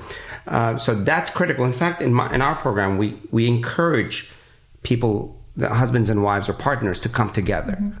Because it's impossible for us to apply diet change to one person, right. and the other person's doing whatever they want. No, the household has to work. change. Of course, yeah. of course. It makes it a disease of the of the family. Mm-hmm. Um, you know, if if your kitchen is not changed entirely, and obviously there will be times when you will eat unhealthy food. So Right. We we once involved what? How many family members in your 14. clinic? Yeah, remember like 14 individuals 14. came wow. to this clinic because they all wanted to invest in this lifestyle, and that's how it works. I love the grandchildren to be involved yes. because if we want culture change, we know now know data shows that if you start earlier, the the teenagers actually change the food in the household more than the other way around. Mm-hmm. So I had the, the grandchildren there and giving them speech and giving them, you know, kind of coax them into it and say, you have the power to change the family. And, uh, and, and that's a good way to learn empathy where your grandfather is suffering from Alzheimer's. Yeah. And you don't preach empathy, you live it. Yeah. So we love the uh, involvement of the entire family. What have been some of the success stories that you've experienced with some of your patients that you've put through this program? Many, many. Oh my goodness, there there are many. Um, they've been particularly with this whole comprehensive um, approach, um, not just diet, not just exercise. I mean, there there are stories in particular ones as well, but you know, we um, remember that lady who um, was a high functioning person, professor, very knowledgeable, and she was stunned that she was, you know, experiencing cognitive impairment. But um, we found out that she had sleep apnea, and we found mm. out that she had incredible amount of stress in her job. I mean, there were things that were completely out of her control. So just to identify those, you know, treating her sleep apnea, modifying her diet, and for her to look into other venues that were close to her um, job and to her, you know, um, uh, her level of education or qualifications. Um, she completely turned around and she actually became an advocate for, for brain health. Wow, that's amazing. Yeah, those uh, to me, I like the ones that were it's not that, that magic thing that we find. Sleep apnea is easy. You find that, you correct that, you, you see a huge difference. Mm-hmm. You see people who are on the wrong diet and they think they're on the right diet, and you change that, and you definitely see. For example, sugar. First three weeks, four weeks, people have a hard time giving up sugar. Yeah. I mean, very hard time. By the fifth week, sixth week, they come and say, I feel a fog lifting. So Clarity. that's not one case. Always talk about multiple yeah. cases of this. I mean, over and over again. But the cases I love is that when we applied one little thing here, one little thing here, one little, you know, and each of the domains, and and and of course you saw the difference, but you see a change in level of motivation. These people become they want to be the coaches. Yeah. They want to be your oh, coaches wow. out there. That's cool. Uh, so uh, that makes medicine completely different than cutting and pilling. You know, giving pills. Here's right. a prescription. Right. It makes it so much more fun. Very fulfilling. Um, I just lost my train of thought. What was I going to ask? I had this awesome question. Oh. No, uh, one thing that, well, it'll come back to me in a minute, but, but, uh, one uh, another statistic that I thought was interesting was um, that two thirds of the people that suffer from this are women. Yes. and and that we don't really know why that's the case. Is that is that correct? That's true. There's some theories out there that explain some part of, of that picture. Um, so, you know, people have looked at hormones and how, uh, you know, after menopause, the physiology of a woman changes, or the effect of multiple pregnancies on brain health and body health in general. Um, but you know, one of the strongest and um, um, most uh, interesting uh, concept that has surfaced is uh, the fact that um, the women who have Alzheimer's disease now and have been detected to have cognitive impairment come from a time where um, they were probably not as challenged as men were as far as their job is concerned. And the amount of stress that was put on these women was much higher than women now. We've evolved as a society, and so we're trying to find out, you know, what were the differences as far as education level is concerned, as far as cognitive reserve, and as far as the amount of stress and other physiological determinants that made these women have more Alzheimer's now. So it's still we're still trying to understand Learn it that, better. yeah. But it's a crazy number, and you know, more women are suffering. Yeah, it's uh, I, I was not aware of that. Yeah. It's crazy. And then two thirds of caregivers are also women. Yes. So and, and and they suffer from the consequence of taking care of a father or mother that has. Which uh, puts them at a higher risk. What is your opinion on people who go and, and get their genetic testing done, the 23andMe's and all of that, and you know come to you and say, I have the gene or I don't have the gene or what have you? Yeah, that happens a lot. So I have two grandparents who had Alzheimer's, and you have had, and uh, let and I forget a lot of things. I lose a lot of things. I for, for I can names. attest to I'm- that. I, He can't- forgets his more, jackets more all the. Sudoku. I probably would be much more rapid in decline. No, it's so I, at this point, and, and it's evident that it's because we're we live the most crazy, lo- busy, and passionate, and loving, you know, lovely life. I mean, but but it's very busy, multiple A lot of things, elements. a lot of elements, very colorful, and. Um, uh, but if let's say I take the gene genetic test and I find out that I have ApoE4 and another ApoE4 and some other genes, so now I forget my uh, something. What do you think I'm going to do? I'm going to attribute Of it to course, my you're genes. immediately leap to, Yes. oh, this is inherent. It's happening. Yeah. You know. and that that's not just me being motivated. So a lot of people say that's good for me because I'm I'm going to be motivated. No, that's not motivation. That is going to be at a level of stress and anxiety that you that is going to be damaging. It's almost becoming a self fulfilling prophecy. is, Whatever yeah. you do, you attribute it to that. And Correct. we've seen people do that all the time. Exactly. So I say live as if you have the genes and let the outcome speak for itself. Mm-hmm. Because if you find out that you have the genes, the anxiety, because we don't have a cure for the genes at this point. Maybe in a few years with this CRISPR thing and all these genetic uh, manipulations that we can do, and it will happen. No matter how many people say this is not natural, it's- it, that's It's definitely going to happen. it's going to happen. It's yeah. already happening. It is. It It is is. Like leukemia and other diseases and, and sickle cell. I mean, we've seen children suffer from sickle cell. Like, Yeah. I, I Sickle don't want to cell's see at that. the forefront of like, what's Eliminate happening these with things that right now. But even with these genes, it will, it will happen. But until then, do you want to live with that kind of anxiety every time you forget where your park, your car Mm-hmm. was parked? Last night we would. yeah, I would have been We bastard. you check yourself into your own clinic. So I say, if it's not in the research setting, there's no benefit at this point. Live as if you have the genetic risk. Change your lifestyle because not just for Alzheimer's, that lifestyle is going to affect your heart, your your immune system, your mood, depression, anxiety. Um, uh, studies have shown that the best form of treatment of depression, 300% better than any drug out there, is exercise. Exercise, yeah. So live it, and then let, let the genes play themselves out. Among these these five factors: nutrition, exercise, sleep, uh, stress management, engagement. Is there one that's more important than the other? Is it the interplay of the five? Like if somebody had to, you know, pick one thing to begin with, and they're overwhelmed by the five, like what is the most important of all of these to kind of catalyze that journey? I think for the majority, it's food. Yep, without a doubt. Because how could it not be? It's something that we put in our bodies three or four times a day. It's the most important environmental factor for us. It makes or breaks your brain. But then again, it depends on you know what are some of the proclivities for Alzheimer's disease or for brain diseases in general, and to focus on the one that is uh, the most affected. Mm-hmm. I agree with you uh, fully. Um, I mean, uh, uh, let's take the personal thing out. Let's say that we don't find something unique in this person that that that we need to address right away. In general, we would say food, definitely, mm-hmm. and then the easiest one is exercise.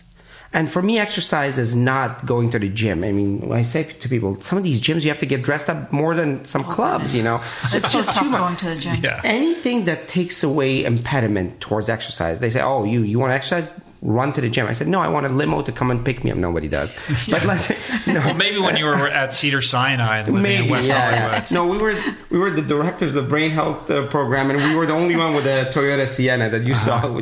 But uh, but but the, the, the the most important thing is that it institutes uh, do something that's proximal and easy. So I say, if I was Secretary of Health and Human Services, I would have connected everybody's TV to a recumbent bike, so it wouldn't work unless they're rolling. Mm-hmm that would have reduced healthcare I like that. costs significantly. Nobody's going to do that. Nobody's going to vote for you. No, nobody will. Well, it's not a voting position anymore. But but it, it is important to bring it to your living space, and then whatever else you do extra is fantastic. So for my 60 year olds and 50 year olds, I said get a little foot pedal exerciser or a, a recumbent bike, watch your news, and then uh, go slow, roll slow. Yeah. You know, two miles an hour, an hour, a mile an hour, and then every few commercials, just rev it up you've just changed their life. The, use the commercials to do your intervals. Yes, yes. yes. Exactly. interval. Yeah. I mean, how, how beautiful is that? So you're getting so, the aerobic and the anaerobic. Exactly. So there's no balance problem because you're sitting. There's no clothing. You know, you, you can do it naked if you want. I would rather uh-huh. not if they.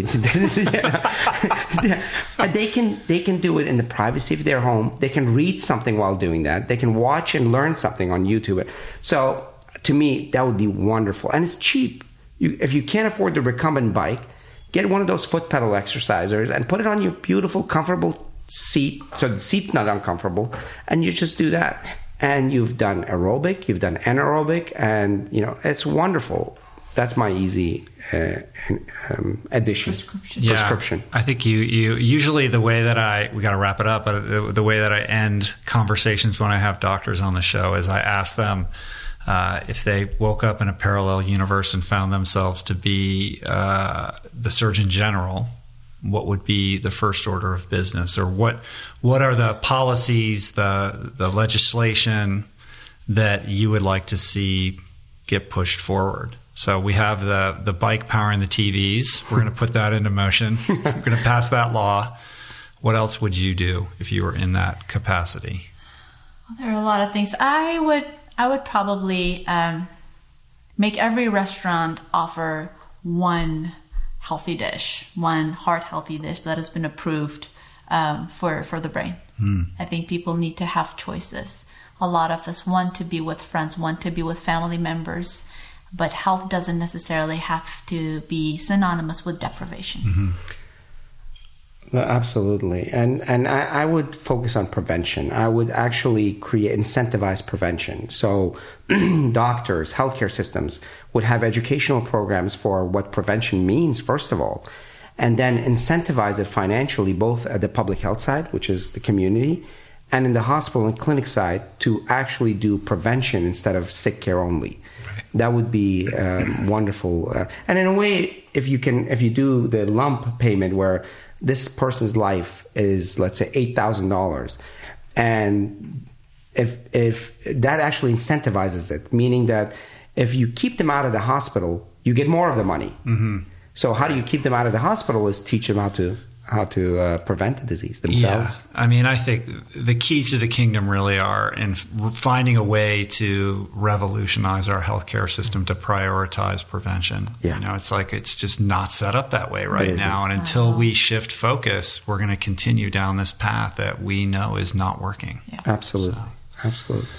Well, thank you for doing this and sharing your message. You know, I think as a sort of primary takeaway from your book, um, I think it's really empowering. you know, because it's basically telling people, like, look, you can control this. Like, whatever your genetic disposition is, uh, you know, that gene need not be necessarily expressed. And here are the things that you can do that we have seen and that have been proven to maintain your brain health and take, you know, to, you know set you up in the best position to avoid having to go down this road because this really is an epidemic that is just decimating lives everywhere we look and and the rate at which it's accelerating is mm-hmm. beyond alarming right so to Absolutely. the extent that we can all you know take to heart these measures and start to implement these changes in our lives and try to you know serve as a, a, lighthouse or a source of inspiration for our loved ones who we see heading in this direction. I think this is really important work, and I thank you for writing this book and for the work that you do.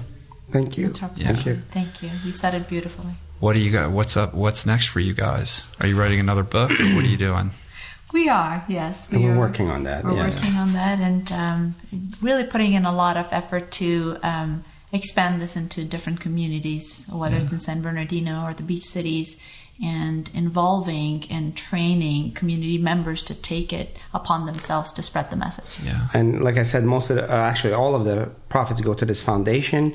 And if anybody wants to partner with us, for us to come there and give workshops on on lifestyle and prevention, we're willing to pay out of our own pocket to come and fly there and, and help the community. Oh, that's amazing. Absolutely. Wow. Absolutely. So if somebody's listening to this and, and they want to take you up on that, how do they get in touch with you? They, they, yeah. they can get in touch with us through our website um, and our social media. We're teamsherzai.com. Um, and we would uh, we're very responsive. We'd be happy to you know set something up with them. Right, Team Sherzai S H E R Z A I dot com. Right. Yes. That's cool. Have you? I know you know Dan Buettner. Um, yes. Have you spoken to him about perhaps collaborating with the work that he's doing with Blue Zones in some kind of official way? Like it seems like it would be. There's a natural fit. We have, we yes. have, and we will. And so far, we're actually picking the fruits of that he's laid down, which is in uh, beach cities. We're mm-hmm. doing the brain health side of it, but we would love to because I told him several times. We told him that the public health that that he's doing is more beneficial than a thousand doctors uh, yeah. because uh, it makes it so easily palatable. I mean, he shows it in populations. People, people, you said it. If they don't see it in this story format, they're not going to believe it. But he shows the stories mm. in mm-hmm. thousands of people in regions. It's wonderful. It's unbelievable. Yeah, it is. All right, thanks, you guys. Thank, Thank you. you. Thank so you. I, I end the show by saying peace and plants at the very end. But I thought since there's two of you, usually I'm just talking to one person. You guys can like take us out by saying that? Peace, Peace and, and plants. plants. Ah, Fantastic. Thanks, you guys. Thank you. Awesome. Thank you. Cool. Thank you.